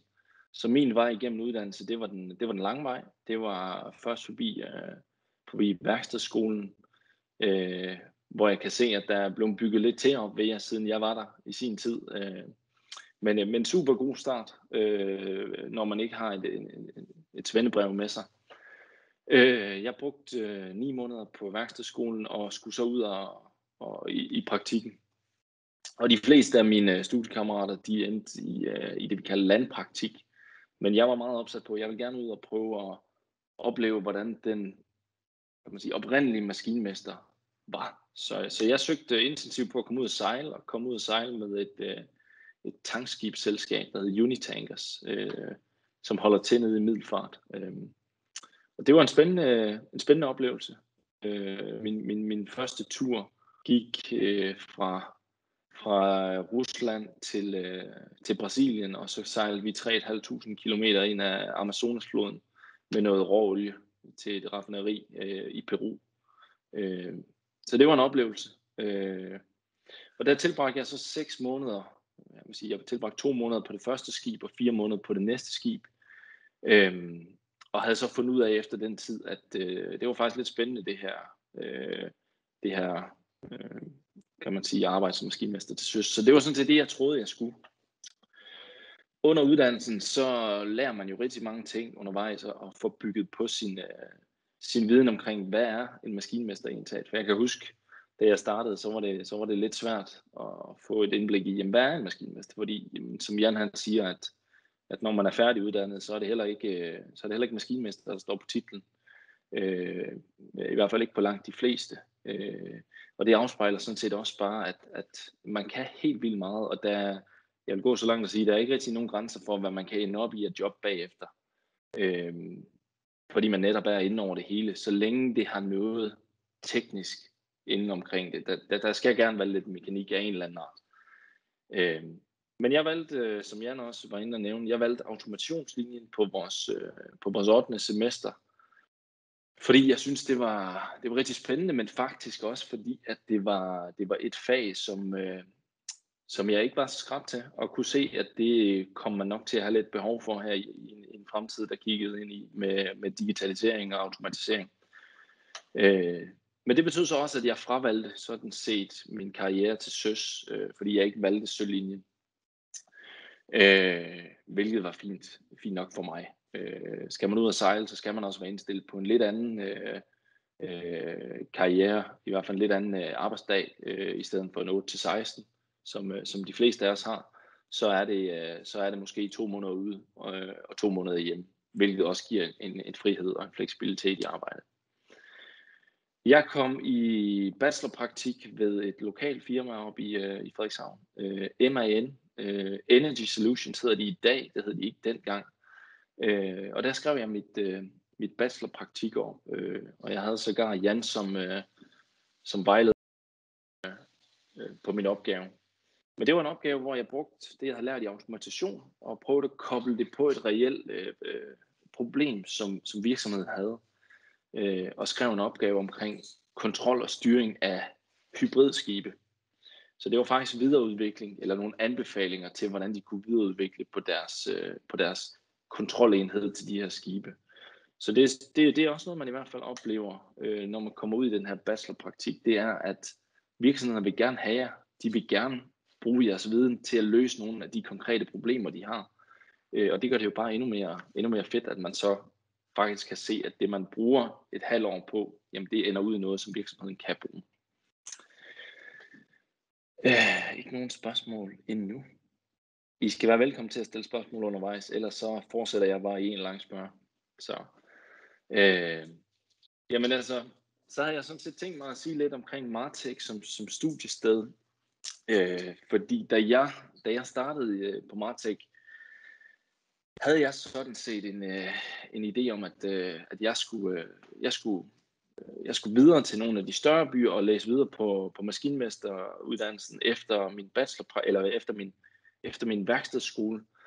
Øh, men jeg blev simpelthen så glad for at, at være på Martech, at, øh, at jeg valgte at tage hele min uddannelse der. Og det var, det var primært studie, studieformen, altså som Jan var inde på, altså det er en klasseundervisning, hvor man sidder i klassen, og hvis jeg ikke husker helt forkert, så er det, så er det den øh, maskinmesterskole, hvor man har mest klasseundervisning. sammenlignet med, med de andre skoler. Øh, og det betød meget for mig. Det betød rigtig meget, at når man sad i nogle, nogle opgaver, man var ved at blive, øh, ja, øh, rive håret af sig selv, det kan I se, det har jeg, det har jeg gjort undervejs under uddannelsen. Øh, så kunne man spørge en lærer til råds, øh, og, og, og man kunne få gennemgået de her, de her problemstillinger. Øh, en gang, to gange, tre gange, hvis det var det, der skulle til. Så var der også et studiemiljø, hvor at, øh, at man lynhurtigt kommer til at, at lære de fleste at kende. Øh, fordi som Jan siger, det er en, en relativt lille skole. Øh, jeg kan se mange kendte ansigter her, med Bettina om bagved os, og Kenneth, der er med på kaldet her. Så det er, for mig er det også sjovt at se, at, øh, at det er de samme ildsjæle, der driver det her. Og det er virkelig ildsjæle, der driver det. Øh, vores studietur, nu kom Jan lidt ind på det, øh, den, øh, for vores vedkommende var den delt op i to. Der var en, øh, en lidt mere peberet studietur, og så var der en studietur, som man stort set ikke skulle, øh, skulle betale noget til selv. Øh, den ene hold gik til øh, USA, øh, over til øh, vestkysten i USA, øh, hvor de var ude at se nogle forskellige øh, forskellige øh, attraktioner der, øh, som også, hvor de fik lov at dykke ned i noget af det lidt mere tekniske. Jeg var selv med på den anden studietur, som gik til Prag, hvor vi blandt andet var ude og se en, øh, en Skoda-fabrik, øh, som havde, jeg tror det var op mod 20.000 medarbejdere, så det var, en, det var en hel by, vi kørte ind i, hvor de så bare spyttede biler ud på en side af.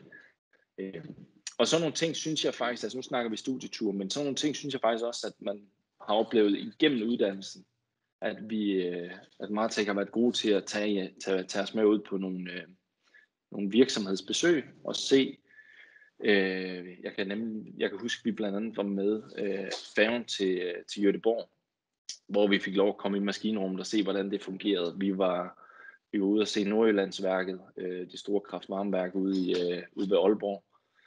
Øh, og det er sådan noget, som også gør, at man får lidt en smag på, hvad er det, hvad er det egentlig, at jeg kan ende med at blive efter, efter en uddannelse.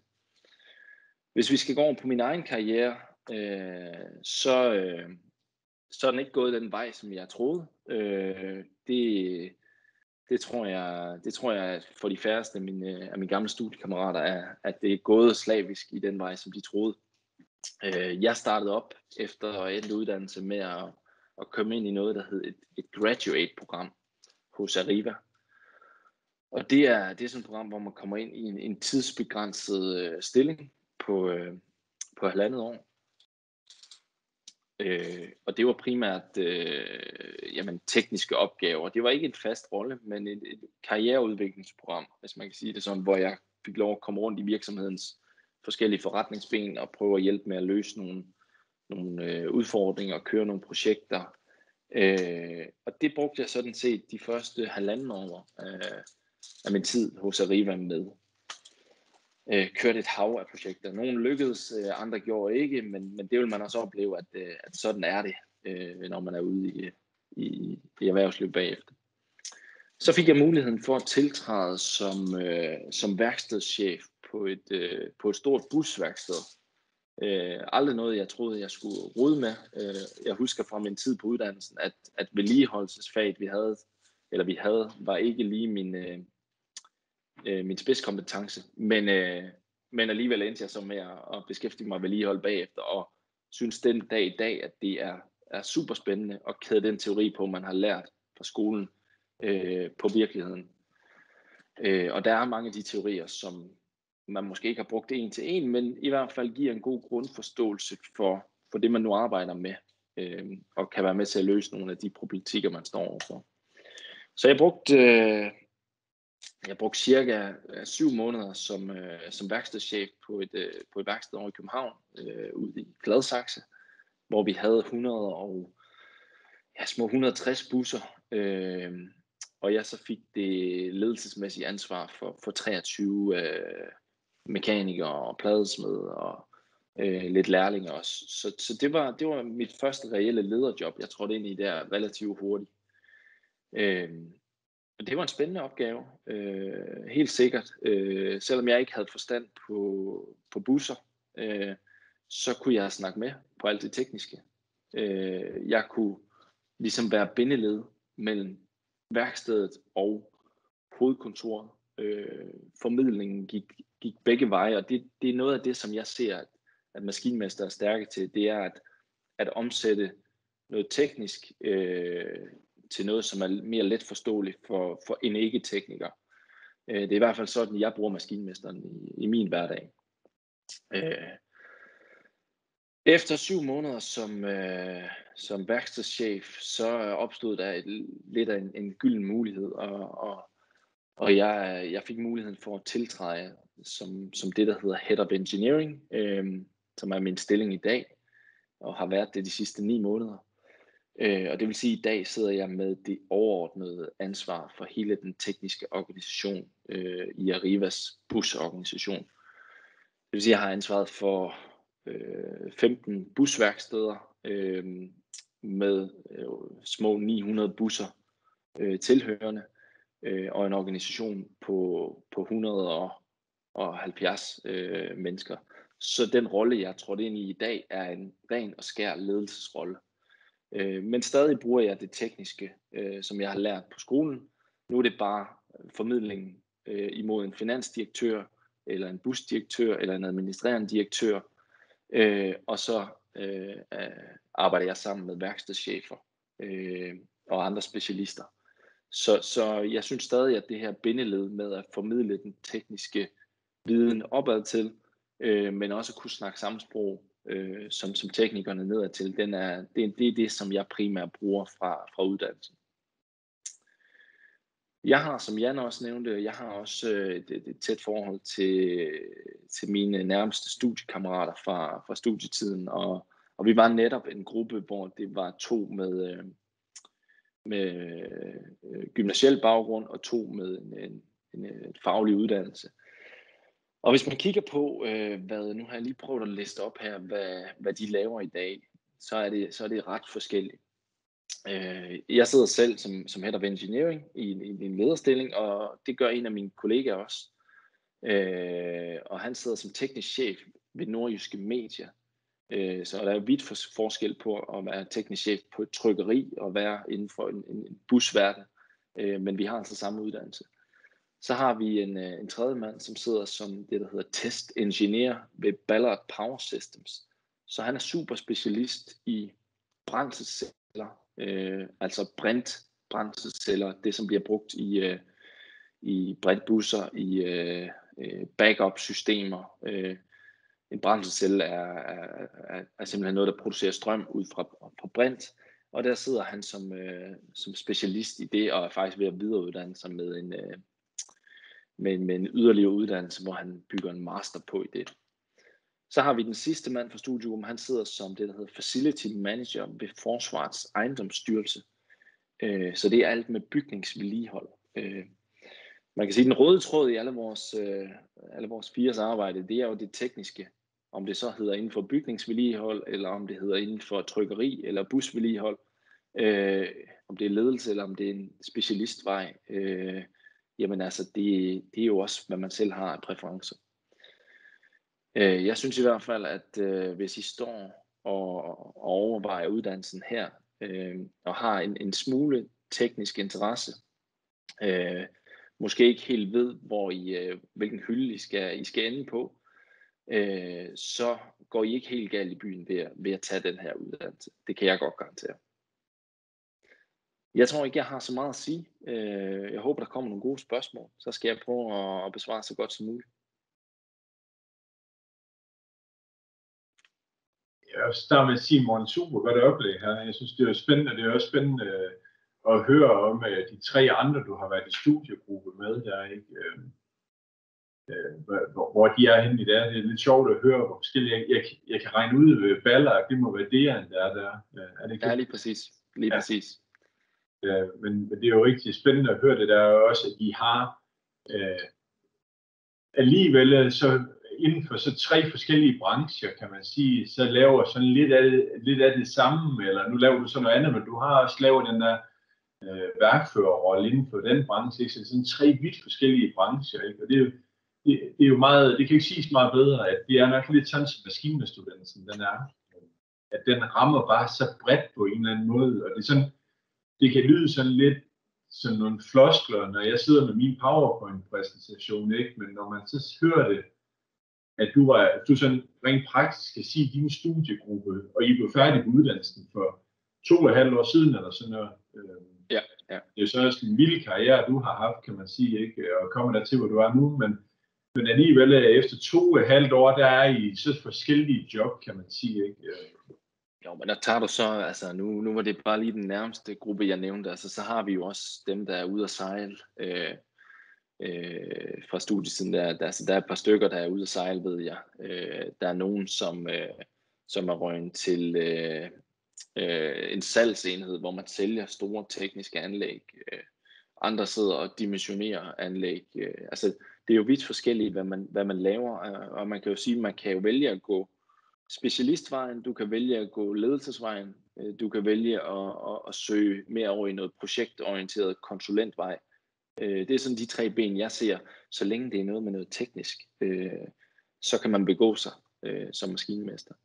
Øh, Og nu kan man sige, altså du, nu snakkede du også, Jan, om, om det her med valgfaget på, på uddannelsen. Nu valgte jeg jo et, et specialistvalgfag, altså som automation, øh, og det har da ikke ekskluderet mig fra at beskæftige mig med ledelse i dag.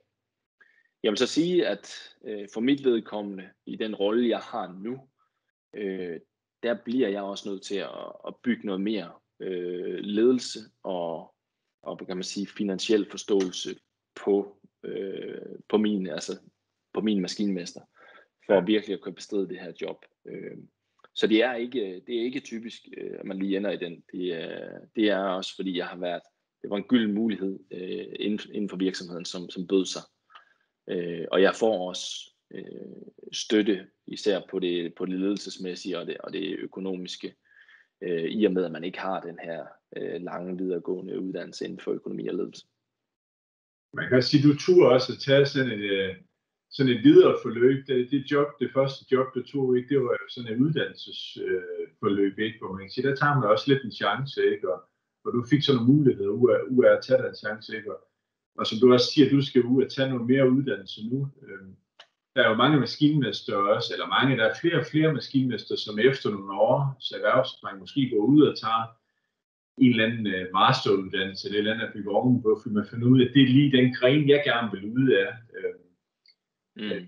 men jeg synes også, at jeg ser på mine gamle studiekammerater, at det kan godt være, at man bevæger sig ud af en gren. Det kommer man jo lidt til. Øh, men så har jeg også set nogle af dem, jeg har læst sammen med, så efter 7, 8, 10 år, så, de, så skifter de over til en helt anden gren. Så det er ikke sådan, at man, at man siger, nu, nu bøjer jeg den der vej, og så kan jeg ikke komme over i de andre grene mere. Så lige så er der en, der hopper over til en helt anden branche lige pludselig. Ikke? Altså, øh, Nej, men det, og det tror jeg, du har ret i. Man låser sig ikke, og, og nu skal det også siges, at altså, maskinmesteruddannelsen, den kan bringe en rigtig langt, uden at man behøver at bygge videre på den. Øh, øh, ja, jeg tror, hvis jeg fortsætter i, i, i den her retning, jeg har nu, og skulle hoppe over i en mere specialistrolle, og øh, eventuelt dimensionere nogle elanlæg, så kunne det godt være, at jeg lige skulle tilbage på skolebænken forbi Kent Vesgaard og have noget brush up på det, inden jeg var klar til det. Du er velkommen, Morten. tak, Kent. Jeg kan se, Mads han spørger, stiller spørgsmål, hvilke, hvilke vej gik du dine sidste semester? Er det til Morten, du spørger om det, Mads? Eller det? Ja, Morten. Altså, jeg Jamen tror, altså, jeg- det er nok lidt omkring din, øh, din praktik og sådan noget måske også. Jamen altså, jeg, øh, øh, jeg tog det der valgfag, som hed automation. Øh, og det er, jo, øh, det er jo med programmering af robotter og øh, programmering af PLC'er, som, som Jan han øh, snakkede om, altså nogle, nogle små computere, man kan programmere og, og få til at styre nogle transportbånd. Og, øh, og det gjorde jeg øh, bevidst for at, at få noget mere indsigt i, i, i den her bølge af digitalisering, som skyller ind over alle industrier. Øh, at jeg så ikke kommer til at, at jeg så ikke har brugt det så detaljeret sidenhen, øh, jamen altså, de, øh, det er jo mere tilfældigheder. Øh, men jeg gik automationsvejen, og, og det var jo, ja, det synes jeg var et, et fint valg for mig. Øh, jeg husker, at de linjer, der var oppe at køre, det var, det var søfartslinjerne, hvis man skulle ud og sejle. Og så havde vi også en offshore linje, som gav noget basisintro i, øh, og kurser, ikke mindst kurser i, hvis man skulle ud og være øh, øh, arbejde offshore. Ja, det er rigtigt. Ja. Morten, jeg, kan, jeg, jeg, må, må jeg, jeg må godt fortælle lidt om din fortid også, fordi du har sådan gerne. lidt en speciel baggrund. Der er sikkert nogen af jer, som har hørt øh, Mortens navn før, hvis man interesserer sig lidt for ishockey. Så det var faktisk sådan lidt, dengang du startede på uddannelsen, Morten, der, der var, du var en ung gut, der var flyttet til Frederikshavn for at spille ishockey. Kom ned fra Esbjerg, er det ikke rigtigt? Fra Esbjerg, jo, ja. det er korrekt. Øh, Øh. var et, et af de største lovende talenter i Danmark inden for ishockey på det tidspunkt, kan jeg vist godt tillade mig at sige. Og, og du var sådan set, øh, vi, skræd, øh, vi, vi var sådan set lidt i gang med at skræddersy sådan lidt et specielt uddannelsesforløb for dig, fordi du kører din ishockey-karriere ved siden af din uddannelse. Men sådan rimelig, Det- så kom du faktisk og sagde til os nu, jeg vil ud og sejle i min praktik, og så må jeg stoppe med at spille ishockey. Altså det var sådan lidt, øh, så kom Jamen, det er jo, lige foran. Du har ret, Jan. Altså, det var, det var sådan skillepunktet for mig. Øh, øh, jeg har spillet ishockey hele mit liv, og, og, og skulle selvfølgelig blive ved med det, fordi det var det, jeg skulle leve af. Øh, men man må nok hellere have en eller anden, øh, en eller anden backup plan også. Så jeg begyndte jo også på, på maskinmesteruddannelsen. Men allerede i løbet af værkstedsskolen kunne jeg jo godt se, at, øh, undskyld, at, at det havde mere min interesse, det her øh, med maskinmesteren. Og, og for mig blev det ligesom skillepunktet, hvis jeg kommer ud og sejle og får en praktikplads til søs. Øh, for det kan jeg huske, det var lidt svært at få dengang. Øh, hvis jeg fik det, så, så stoppede jeg med ishockey. Så var det det kapitel forbi. Øh, og det har jeg ikke fortrudt på noget tidspunkt. Så, så det var, men ja, vi havde et, øh, i, i skræddersy programmet til mig, i hvert fald under, under værkstedsskolen. Øh, og det var, jo, øh, det var jeg vældig taknemmelig for, for så kunne jeg stadig dyrke sporten samtidig. Øh, men det skal også siges, at er også, hurtigt kunne så følge almindelig uddannelse, kan man sige. Eller ja, øh, ja. ja, men altså, det er jo det, at det er jo en, altså maskinmesteruddannelsen er, er jo hård også på den måde, at man skal lægge noget energi i den. Øh, men den er spændende, så jeg husker det ikke som, som hård på en negativ måde, men, øh, men at det tager, det tager tid, øh, og det kræver energi, og det er ikke noget, man kommer sovende til. Øh, jeg så også i jeres præsentationer, at I har skrevet, at, at, at Martek og skolen var, var tilgængelige øh, hele døgnet rundt. Øh, og det vil jeg også sige, det var sådan noget, vi benyttede os af også tilbage i studietiden, at i stedet for at sidde hver for sig og, og arbejde med de, de samme udfordringer og regnestykker, øh, jamen, så satte vi os sammen op på skolen, så man kunne, øh, så man kunne læne sig op af hinanden. Øh, Det tror jeg, det er også mange studerende, der gør. Så, så kører de fakta og henter øh, et eller andet mad, og så laver de det i de der mikrobølgeovne. De har, de har sådan en lille tekøkken ved klasseværelset. og Sådan noget, og så, jamen, så, så, så, så, får man, så kan man lave mad sammen nogle gange, øh, når man sidder oppe på skolen og har nogle lange dage. Ikke? Også. Morten, jeg har lige et spørgsmål. ja, Endelig. Nu, øh, nu siger du, du kom fra Esbjerg sådan noget. Hvordan var det så socialt, altså uden for skolen, da du ligesom stoppede til ishockey, og så kun havde skolen, kan man sige? Jamen altså, det er et godt spørgsmål. Øh, men det var, det var sådan set fint. Øh, altså det, det jeg primært, øh, altså det var, vi havde den her lille studiegruppe, øh, som jeg nævnte også, og det var sådan set dem, man virkelig knyttede sig til i løbet af, af de år på skolen. Øh, og der boede øh, to af, af dem fra studiegruppen, de boede også i Frederikshavn. Øh, der var rigtig mange, der pendlede os øh, førhen. De havde så deres studiegrupper i Aalborg, eller hvor de nu øh, boede henne. Altså. Øh, men men der, der fik vi simpelthen et, et sammenhold der, som også øh, gjorde, at man brugte tid sammen, øh, når det var uden for skolen. Øh, så for mig var det ikke, øh, det var ikke noget problem. Øh. Så jeg har ikke så meget mere at sige. Der ikke er flere spørgsmål, så, øh, så vil jeg sige tak for den her gang. Morten, øh, jeg vil også, inden du smutter, så vil jeg sige tusind tak, fordi du vil være med. Øh, Det, var- det var virkelig spændende at høre om. Øh, Det var så let. Men, men vi kan tage Markus, jeg ved ikke, om du vil fortælle lidt. Dem, der er lokale, har måske læst lidt, lidt her i nyhederne i dag omkring Markus' storebror, som faktisk også er uddannet maskinmester. Ja, jamen han blev uddannet for, ved Martek, jeg ved ikke, hvor mange år siden det er. Det er og så han var både på Martek, og så var han også i Svendborg. det var, det var før jeg blev færdig, så det er mere end 20 år siden. Men han er jævn Ja, ja, lige- mig, cirka, så det er nok, det er nok en 23 år siden, han blev færdig. Ja, nemlig. Øhm, han, øh, først var han, han var også sikker på, at han skulle ud og sejle. Øhm, og så startede han i praktik på, på sejling, men dengang der skulle man altså sejle noget af tiden, var ikke sådan det var. Jo. Øhm, efter han øh, var ude at sejle, så blev han ansat i nogle forskellige firmaer, og, og stille og roligt, der blev han, øh, der kom han ligesom i den vej, hvor, hvor han blev sælger. Øh, og han blev øh, sælger, og så startede han som sælger, og så hvad hedder det. Så senere hen, så kom han til et øh, amerikansk øh, firma, der hedder T-Jets. De producerer computer og udstyr til øh, landbrugsmaskiner. Øh, og det de så faktisk var, var rigtig dygtige til, det var, at de kunne finde ud af at dosere lige præcis ukrudtsmiddel, lige præcis der, hvor der var ukrudt på, på marker. Øh, det firma, det var ikke øh, så kæmpestort i, i Danmark, men det var kæmpestort i USA. Og der blev han faktisk ansat som økonomidirektør, så vidt jeg lige husker. Øhm, på grund af hans både hans, øh, altså økonomi og salg, både på grund af hans øh, erfaring som sælger, men også øh, fordi han, øh, kunne, han lærte noget med økonomi.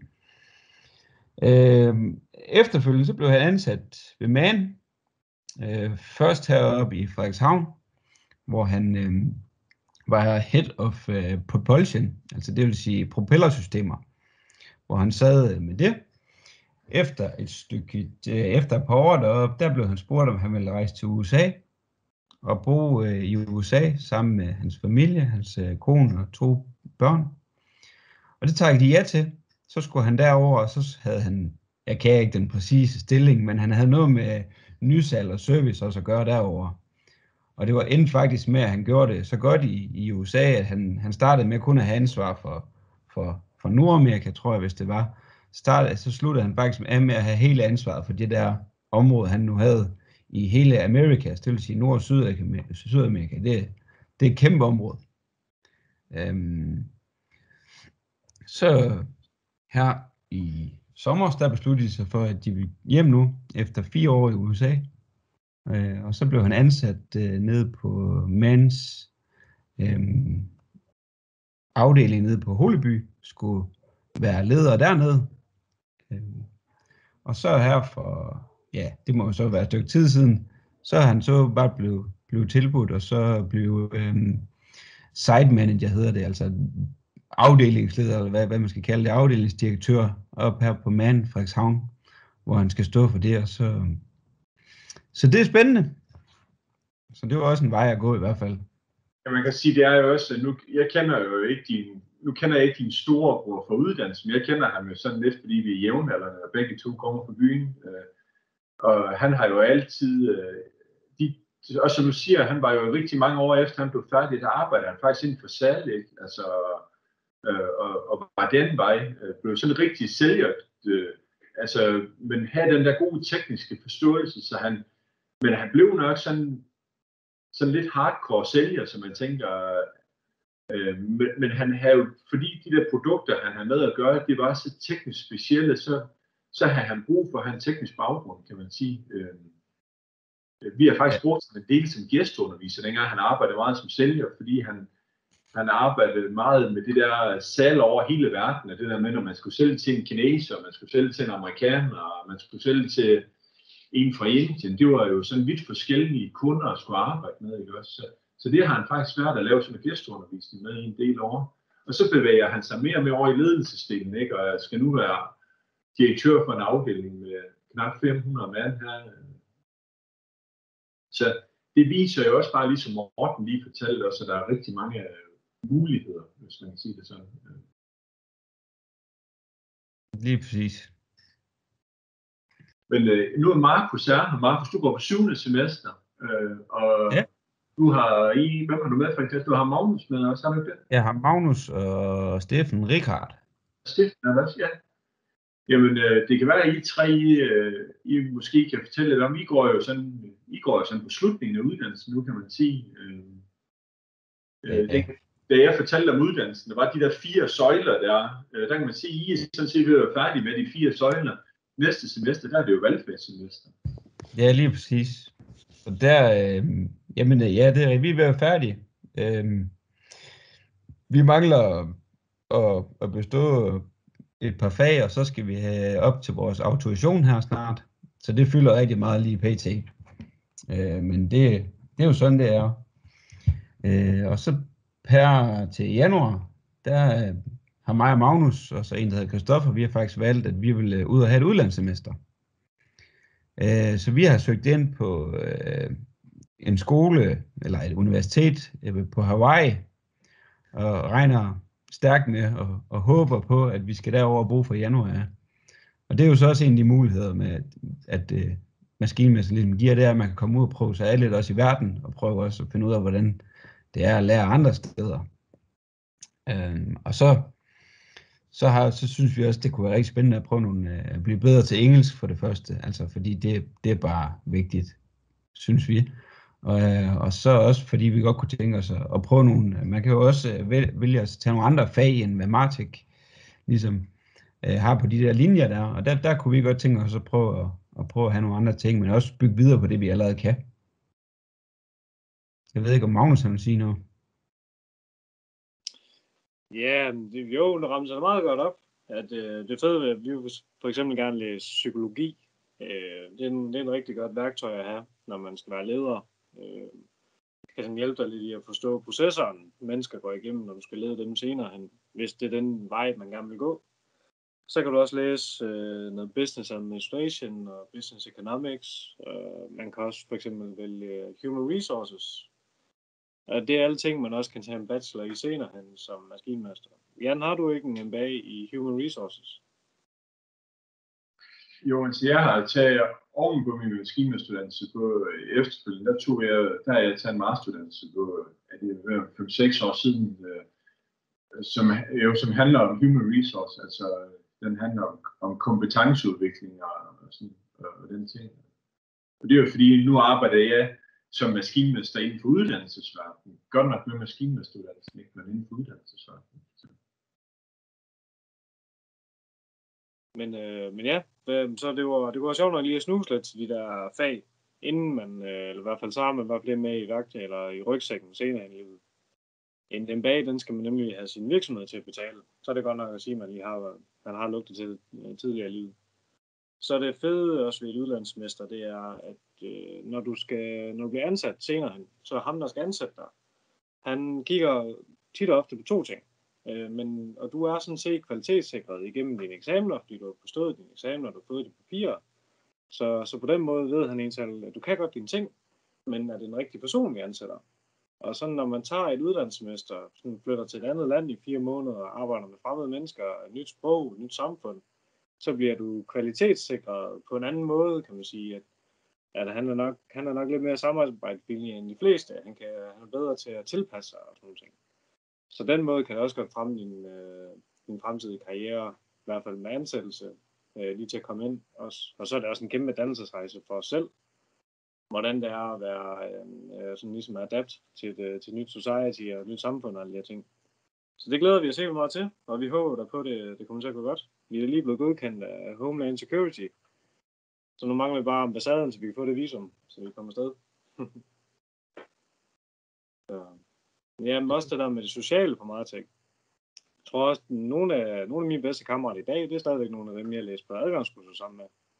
Selvom den ene, han er stoppet for flere semester siden, og den anden, han, øh, han røg lidt foran mig, fordi jeg skulle have nogle flere semester, end han skulle. Men det er der stadigvæk nogle af dem, jeg snakker allermest med i dag. Og også min studiegruppe, det er nogle af de mennesker, jeg har allermest kontakt til. Meget mere end min familie og mine gamle kammerater. Så, så det sociale aspekt af det, det er, det er enormt. Og så er det, så er det fedt, at man er, man er jo sammen i Lille Frederikshavn.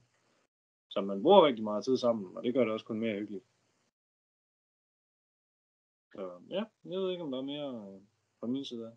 Kan I ikke, øh, kan I tre ikke, øh, hvis ikke der er lige nogen, der har noget spørgsmål til, kan I fortælle kort om, hvad jeres baggrund er, dengang I kom ind på uddannelsen? I har sådan lidt hver sin baggrund, inden I kom ind på uddannelsen. Jo, selvfølgelig. Skal jeg, skal jeg bare starte? Hvad du også der, Magnus. Jamen, øh, jeg er tidligere uddannet erhvervsfisker. Øh, uddannet af en af Gitte Henninges øh, skibe og fisket i to år. Så var jeg med skoleskib i Danmark tilbage i 2016 til Rio de Janeiro. Og så har jeg været ude og sejle lidt som øh, ubefaren skibsafstand på nogle slæbbåde, og, lidt, og så har jeg også været ude og fiske lidt efterfølgende. Og så blev jeg rigtig meget træt af at sejle, og tænkte, det gider jeg ikke mere. Men jeg kendte ikke rigtig til noget andet, fordi jeg var bare gået ud af folkeskolen, og så var jeg bare kommet på en gutter. Øhm, og så snakkede jeg med en maskinmester, og han sagde, jeg havde også været på skoleskibet, så jeg havde mødt nogle maskinmester og noget, men det var sådan meget søfartspræget. Og de, han sagde, at jamen, Magnus, hvis du, altså, du kan altid læse til maskinmester, fordi så hvis du bliver træt af at sejle stadigvæk, så kan du altid bare gå i land og stadigvæk tjene nogle ordentlige penge. Og så, øhm, så tænkte jeg, mm, så gør jeg det. Og så skrev jeg til Martek, og så, så sagde de så, at jeg skulle bare have adgangskursus, og så første, anden semester, og så 4., 5., 6., 7., 8. og 9. semester. Så jeg fik merit for praktikken det tredje semester. Så jeg kan sige, at jeg har været hele møllen igennem. Både adgangskursus og værkstedsskolen og øh, projekt på andet semester, og en lille smule praktik også. Øhm, så, så det var også det fede ved det, maskinmesteren, er, at man behøver ikke sejle. Du kan godt sejle, hvis du vil det, men det er jo kun de der 12-17 procent, der rent faktisk sejler. Resten de laver alle mulige andre ting i landet. Fordi man har alle de her egenskaber, specielt inden for ledelse og teknik. Mennesker og teknik, det findes der rigtig mange steder i verden. Det er det samfund, det går rundt på. Så. øhm, men det er i hvert fald min indgang til det. Øh, og jeg er super glad for at tage adgangskursus. Fordi du bliver så godt rustet øh, til uddannelsen, fordi du har nogle undervisere, som underviser på uddannelsen, og de præger dig så meget af, hvad for nogle ting, der er, du skal lære. Øh, fordi de ved i hvert fald, hvad der, er, der kommer, hvad der er, du skal bruge. Så det er de gode til, at du bliver bare knivskarp til lige de her ting, og du får en, du arbejder rigtig meget, rigtig tæt med matematik og fysik. Det fylder halvdelen adgangskursus. Der er helt meget arbejde i det. Øh, så du får, du får sådan en grundig matematisk forståelse og sammenhæng i, i de fysiske processer og sådan nogle ting, der gør, at du bare er knivskarp, når du starter på, på fjerde semester. Lige starten af fjerde semester, det kan godt virke lidt som leg til starten med, men så senere hen, så bliver du rigtig glad for, at du har haft den der, den der forståelse, specielt i ligninger og se, hvordan tingene hænger sammen.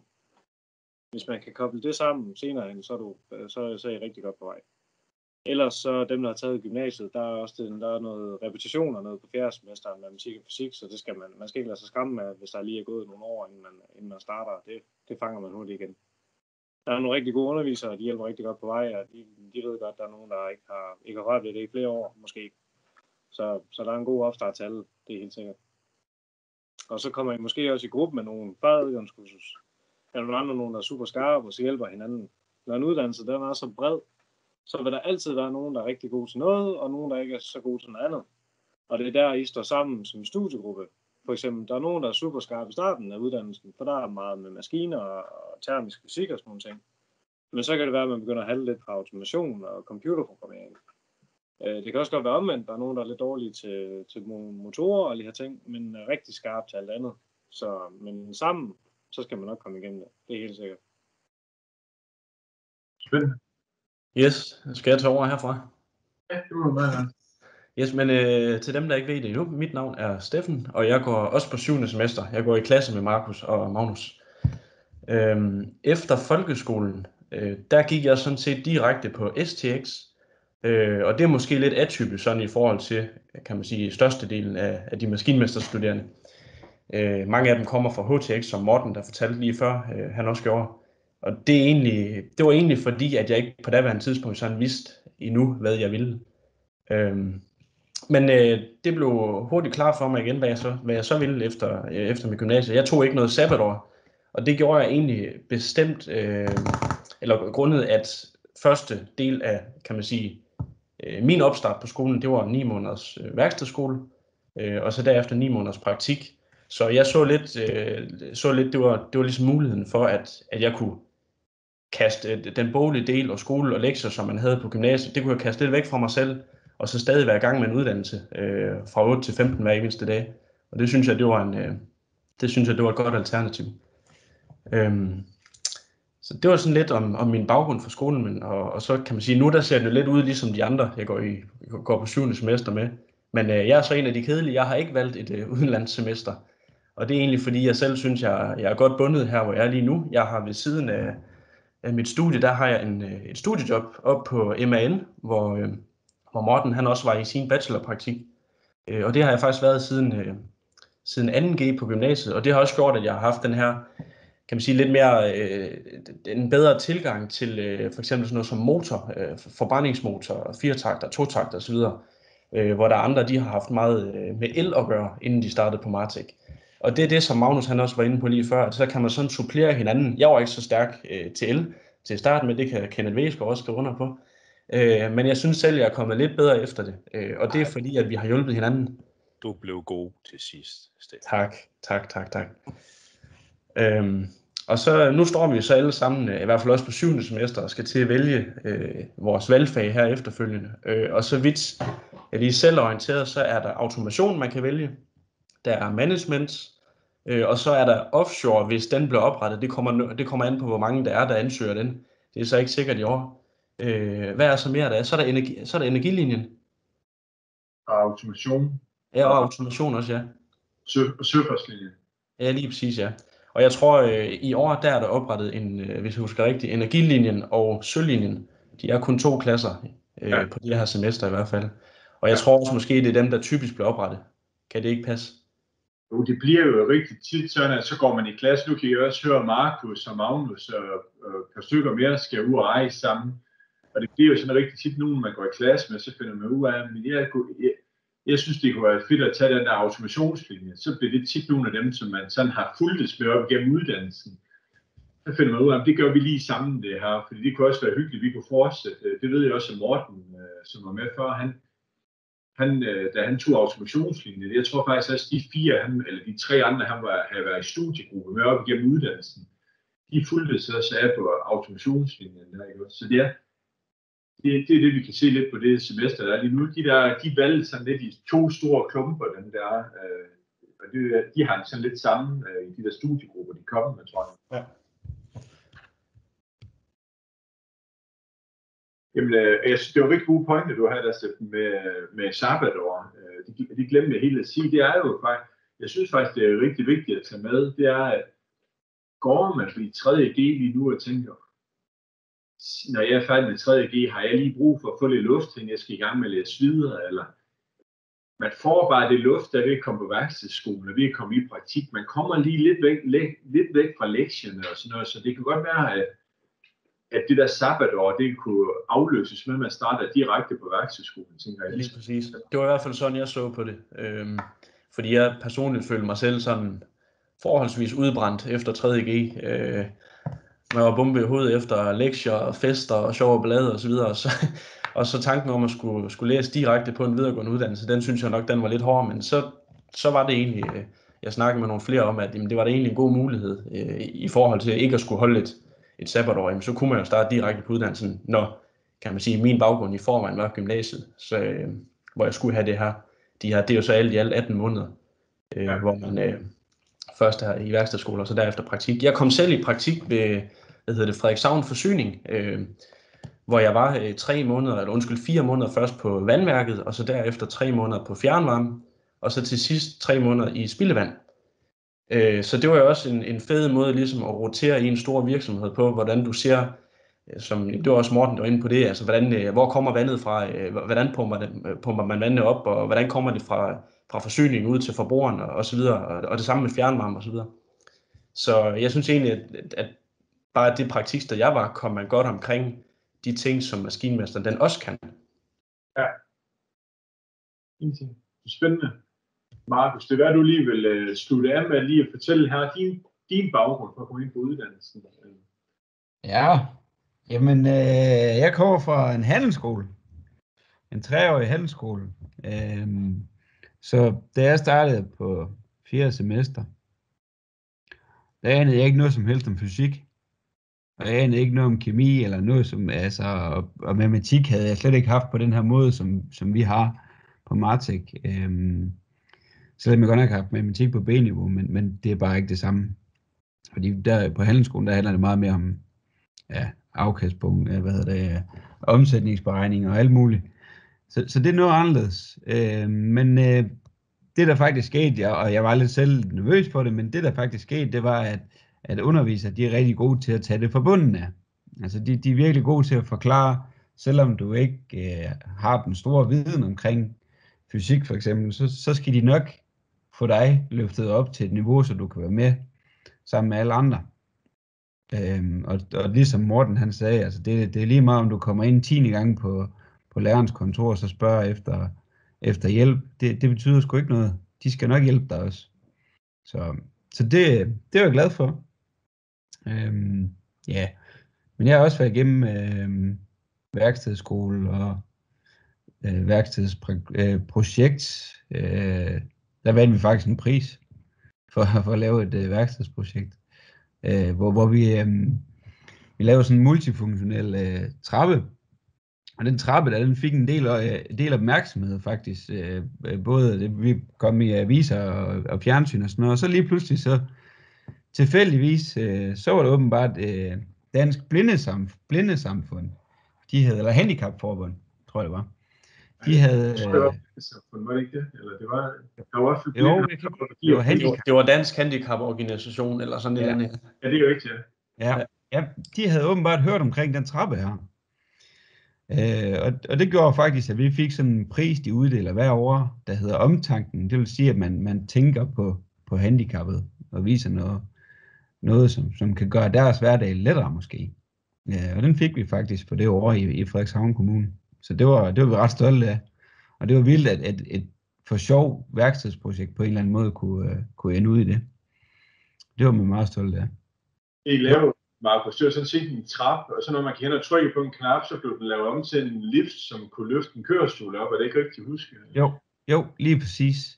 Så kunne den nemlig, altså så, så kunne trappen, så kunne den køre ned i, som en lift, ja, så kunne man køre en kørestol ind, eller en, der havde svært ved at gå bare, øh, kunne køres ind her, så kunne man ligesom hejse liften op, og så kunne de køre op, hvor de nu skulle hen, og så bagefter, så blev den, så, så satte den sig hen til at være en trappe igen bagefter. Ja. Øhm, ja. Jo, det var lidt af min baggrund, og så ja, til, til daglig, der, Ja, der, der er jeg også oppe på Man Energy Solutions. Ligesom Steffen, vi sidder godt nok i forskellige afdelinger og laver meget, meget, meget forskellige arbejde, men øh, super, super godt at få et studiejob også. Og det er der stor mulighed for i Frederikshavn i hvert fald, ved jeg. Hvis man vil, så kan man sagtens finde, øh, finde studiejob her. Det gode ved de studiejob, vi har, det er jo, at de er meget erhvervsrelevant, kan man sige. Ikke? Så det er jo sådan et sted, man kunne arbejde, når man var færdig, eller kunne komme i bachelorpraktik, eller et eller andet, ikke? Også kunne, kan få nogle gode kontakter den vej også. Ja, lige præcis. Lige præcis. Op på øh, Mali i hvert fald. Jeg er oppe i testcenteret, øh, hvor vi prøver at køre motor. Øh, og der er der flere, der har været i bachelorpraktik også. Øh, og, og faktisk mange af dem, de, bliver, de får skrevet kontrakt med virksomheden efterfølgende. Øh, jeg siger selvfølgelig ikke, det er alle sammen. Det kommer an på, de præ, altså, hvor meget man selvfølgelig præsterer under sin praktik. Men, øh, men mange af dem i hvert fald, de får Ja. skrevet kontrakt efterfølgende. Hvis vi ser sådan gennemsnitligt både til 25 procent af vores bachelorstuderende, de får job det sted, de har været i bachelorpraktik. Så det er sådan, hvis vi ser på alle de forskellige praktiksteder. Det er rigtigt. Vi er sådan lige ved at være derhen, hvor klokken den er 19. Øhm, og nu har vi snakket rigtig meget. Jeg håber, jeg håber at øh, I har fået noget ud af de her par timer her, hvor vi har snakket omkring uddannelsen. Øh, jeg synes, det var rigtig spændende øh, at, høre Morten fortælle, og det håber jeg også, I synes, at, øh, at fortælle lidt omkring hans øh, job. Og lige sådan høre de tre studerende her, Markus og Magnus og Steffen, der fortælle lidt omkring, hvor de er i uddannelsen nu. Og så, jeg synes også, at de er sådan et meget godt eksempel på de tre, at de kommer med tre vidt forskellige baggrunde. Øh, og lige nu der er de lidt i samme båd. Altså der, der sidder de der på syvende semester og arbejder meget sammen, ved jeg også, øh, så når de laver lektier og laver projekter og sådan noget, men har jo en vidt forskellige baggrund. Øh, og det viser jo så meget godt, hvad maskinmesteruddannelsen er for en størrelse. At man kan komme ind på det med mange forskellige baggrunde, og man kommer også ud og laver mange forskellige ting bagefter. Det er sådan lidt sådan et, et bindeled på mange øh, punkter, kan man sige. Jamen, øh, der var lige et spørgsmål til os studerende der. Hvor lang tid vi har gået i skole. Vi har så, øh, jamen, øh, værkstedspraktikken og, øh, hvad hedder det, værkstedsskolen, det tager jo 18 måneder. Øhm, og så har vi gået i skole i to år snart. Så det, øh, ja, det er vel Jeg tror faktisk, vi har ramt to års øh, teoretisk skole. Øh, Ja, det vi er godt. startede, jeg mener, vi startede på værkstedsskolen august 2017, vores årgang. Vi startede i samme klasse også, Markus. Ja. Øh, og så har vi så gået i ni måneders hvad hedder det, værkstedsskole og praktik derefter. Så det må være hvad? Har det været i januar øh, 19, vi måske har startet på BM4? Ja, vi vil det tror jeg, det vi er. Januar, februar, BM, øh, ja. Det må det tre og være. et halvt år må det vel være Ja, alt i alt, ja. Til januar, fordi der er et år til til januar, og den tager fire og et halvt år. Ja, lige præcis. Jeg har i hvert fald ikke planer, at jeg skulle rejse i min praktik, og jeg var heller ikke ude at rejse øh, i min værktøjspraktik. Der var jeg ned, også på Man Energy Solutions.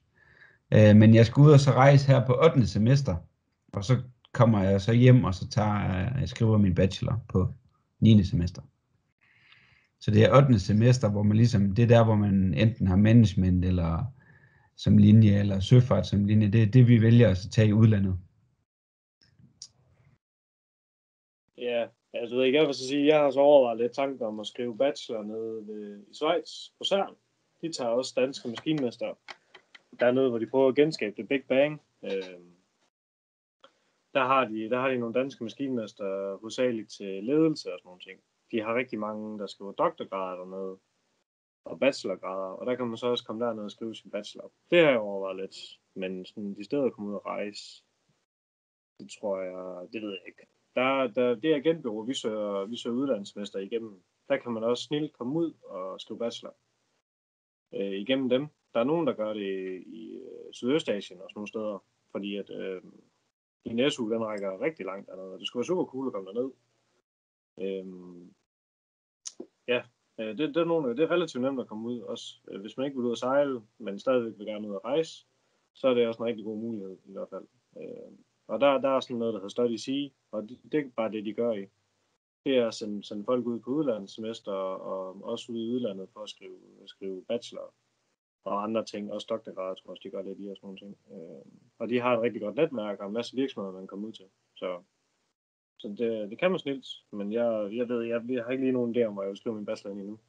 Det tror jeg, det kommer lidt, øh, med, lidt som det kommer, når vi kommer dertil, i hvert fald. Vi har nok nogen, der kommer ind med et andet svendebrev. Man kan sige, der var Magnus jo faktisk også lidt et eksempel på det. Han havde jo også en erhvervsuddannelse, men var med lidt en anden erhvervsuddannelse, og det gør jo så, at så det er det ikke sikkert, at man slipper for hele værkstedsskolen, altså de der halvanden år, man er på værkstedsskole i praktik. Hvis du man kommer med en anden erhvervsuddannelse, så kunne man, så kunne man måske komme ind, øh, så skal man måske ind og have noget af værkstedsskolen der, øh, for at supplere den uddannelse, man har i forvejen. Øh, jeg blev vel optaget på det, der hedder øh, to års relevant erhvervserfaring. Tror jeg, det, Ja. det, er jo det. det er jo også en måde at blive optaget på. Den bliver bare aldrig rigtig nævnt så tit, synes jeg. Øh, Jamen, det er jo ikke det, altså det bliver lidt sidestillet med, at man har et svendeprøve eller et andet. Så, så kan man få merit eller delvis merit for, for værkstedsskolen, kan man sige. Så, så hvis du har noget erhvervserfaring på en eller anden måde der med, så, så, så kunne det sagtens være muligheder. Det, det vil vi meget gerne prøve at hjælpe dig med at vurdere, altså øh, med, med at prøve at gå det igennem sammen med dig også. ja, fordi jeg skulle bare have hele pakken dengang. Det var bare... Øh, det var kun tredje semester, jeg fik merit for dengang, tror jeg. Fordi Ja. jeg, var bare, jeg, jeg fik kun merit for praktikken, ja. Ja. Så, så det kan godt lade sig gøre. Det er også, man er også en sjov ting derovre. Så det går nok. Men Mads, øh, jeg kan sige, du skriver, at øh, du, du, øh, du har en øh, som mekaniker, den er jo adgangsgivende. Så det vil sige, der du vil nok typisk skulle have et, øh, du skal nok på adgangskurs, hvis ikke du har et gymnasielle fag, men ellers så vil du jo som mekaniker kunne komme ind på uddannelsen den vej, uden at skal på værkstedsskole. Vi havde også en i vores klasse, han var skibsmaler. Det er vel en sælgerstilling også. Ja, men ja, det, er jo, det er jo en eller anden, det er en form for en sælgerstilling, der må man sige. Ja. Det, er, en- det er nok en erhvervsuddannelse. Du kan ikke huske det, men jeg tænker, det er en erhvervsuddannelse, hvor, hvor man har, hvor det er inden for det område i stedet for, kan man sige. Han har nok højst sandsynligt også været på en del af værkstedsskolen.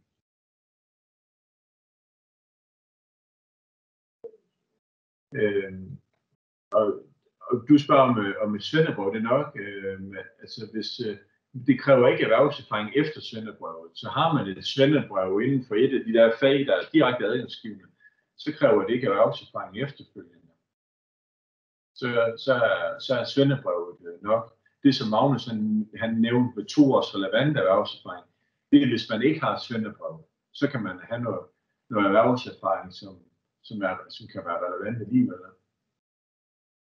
Og, og det er jo, hvis du bliver færdig til, til februar, der, så har vi jo det næste hold. Det, vi har jo hold, der starter der til februar. Øh, og så har vi hold, der starter igen til august. Øh, og, og du, alt efter hvornår du bliver færdig, så vil du jo faktisk godt kunne starte på det hold, der, der starter til februar. Vi har samtidig haft nogle, nogen, som bliver færdige sådan lige op til deadline, og måske endda bliver færdig 14 dage efter vi starter op, og, og man finder en eller anden løsning på det. Og det gælder også adgangskurset. Det er de samme datoer. Vores adgangskurs næste gang starter den 1. februar. Men øh, er det sådan et eller andet med, at du rammer lige på skæringspunktet, så tag fat i os, og så lad os få en snak omkring det, og vi kan løse det på en eller anden måde også. Øh, og det kan også være, at du lige siger, jeg skal lige have noget luft, jeg skal først starte til august, så er det jo også fint. Men, øh, men det, det, du skal i hvert fald ikke afskrive det, hvis du lige bliver færdig 14 dage efter vi starter. Det kan vi godt finde en løsning på, jeg er sikker på. Ellers så vil jeg sige tusind tak for i dag, og for at I vil være med her.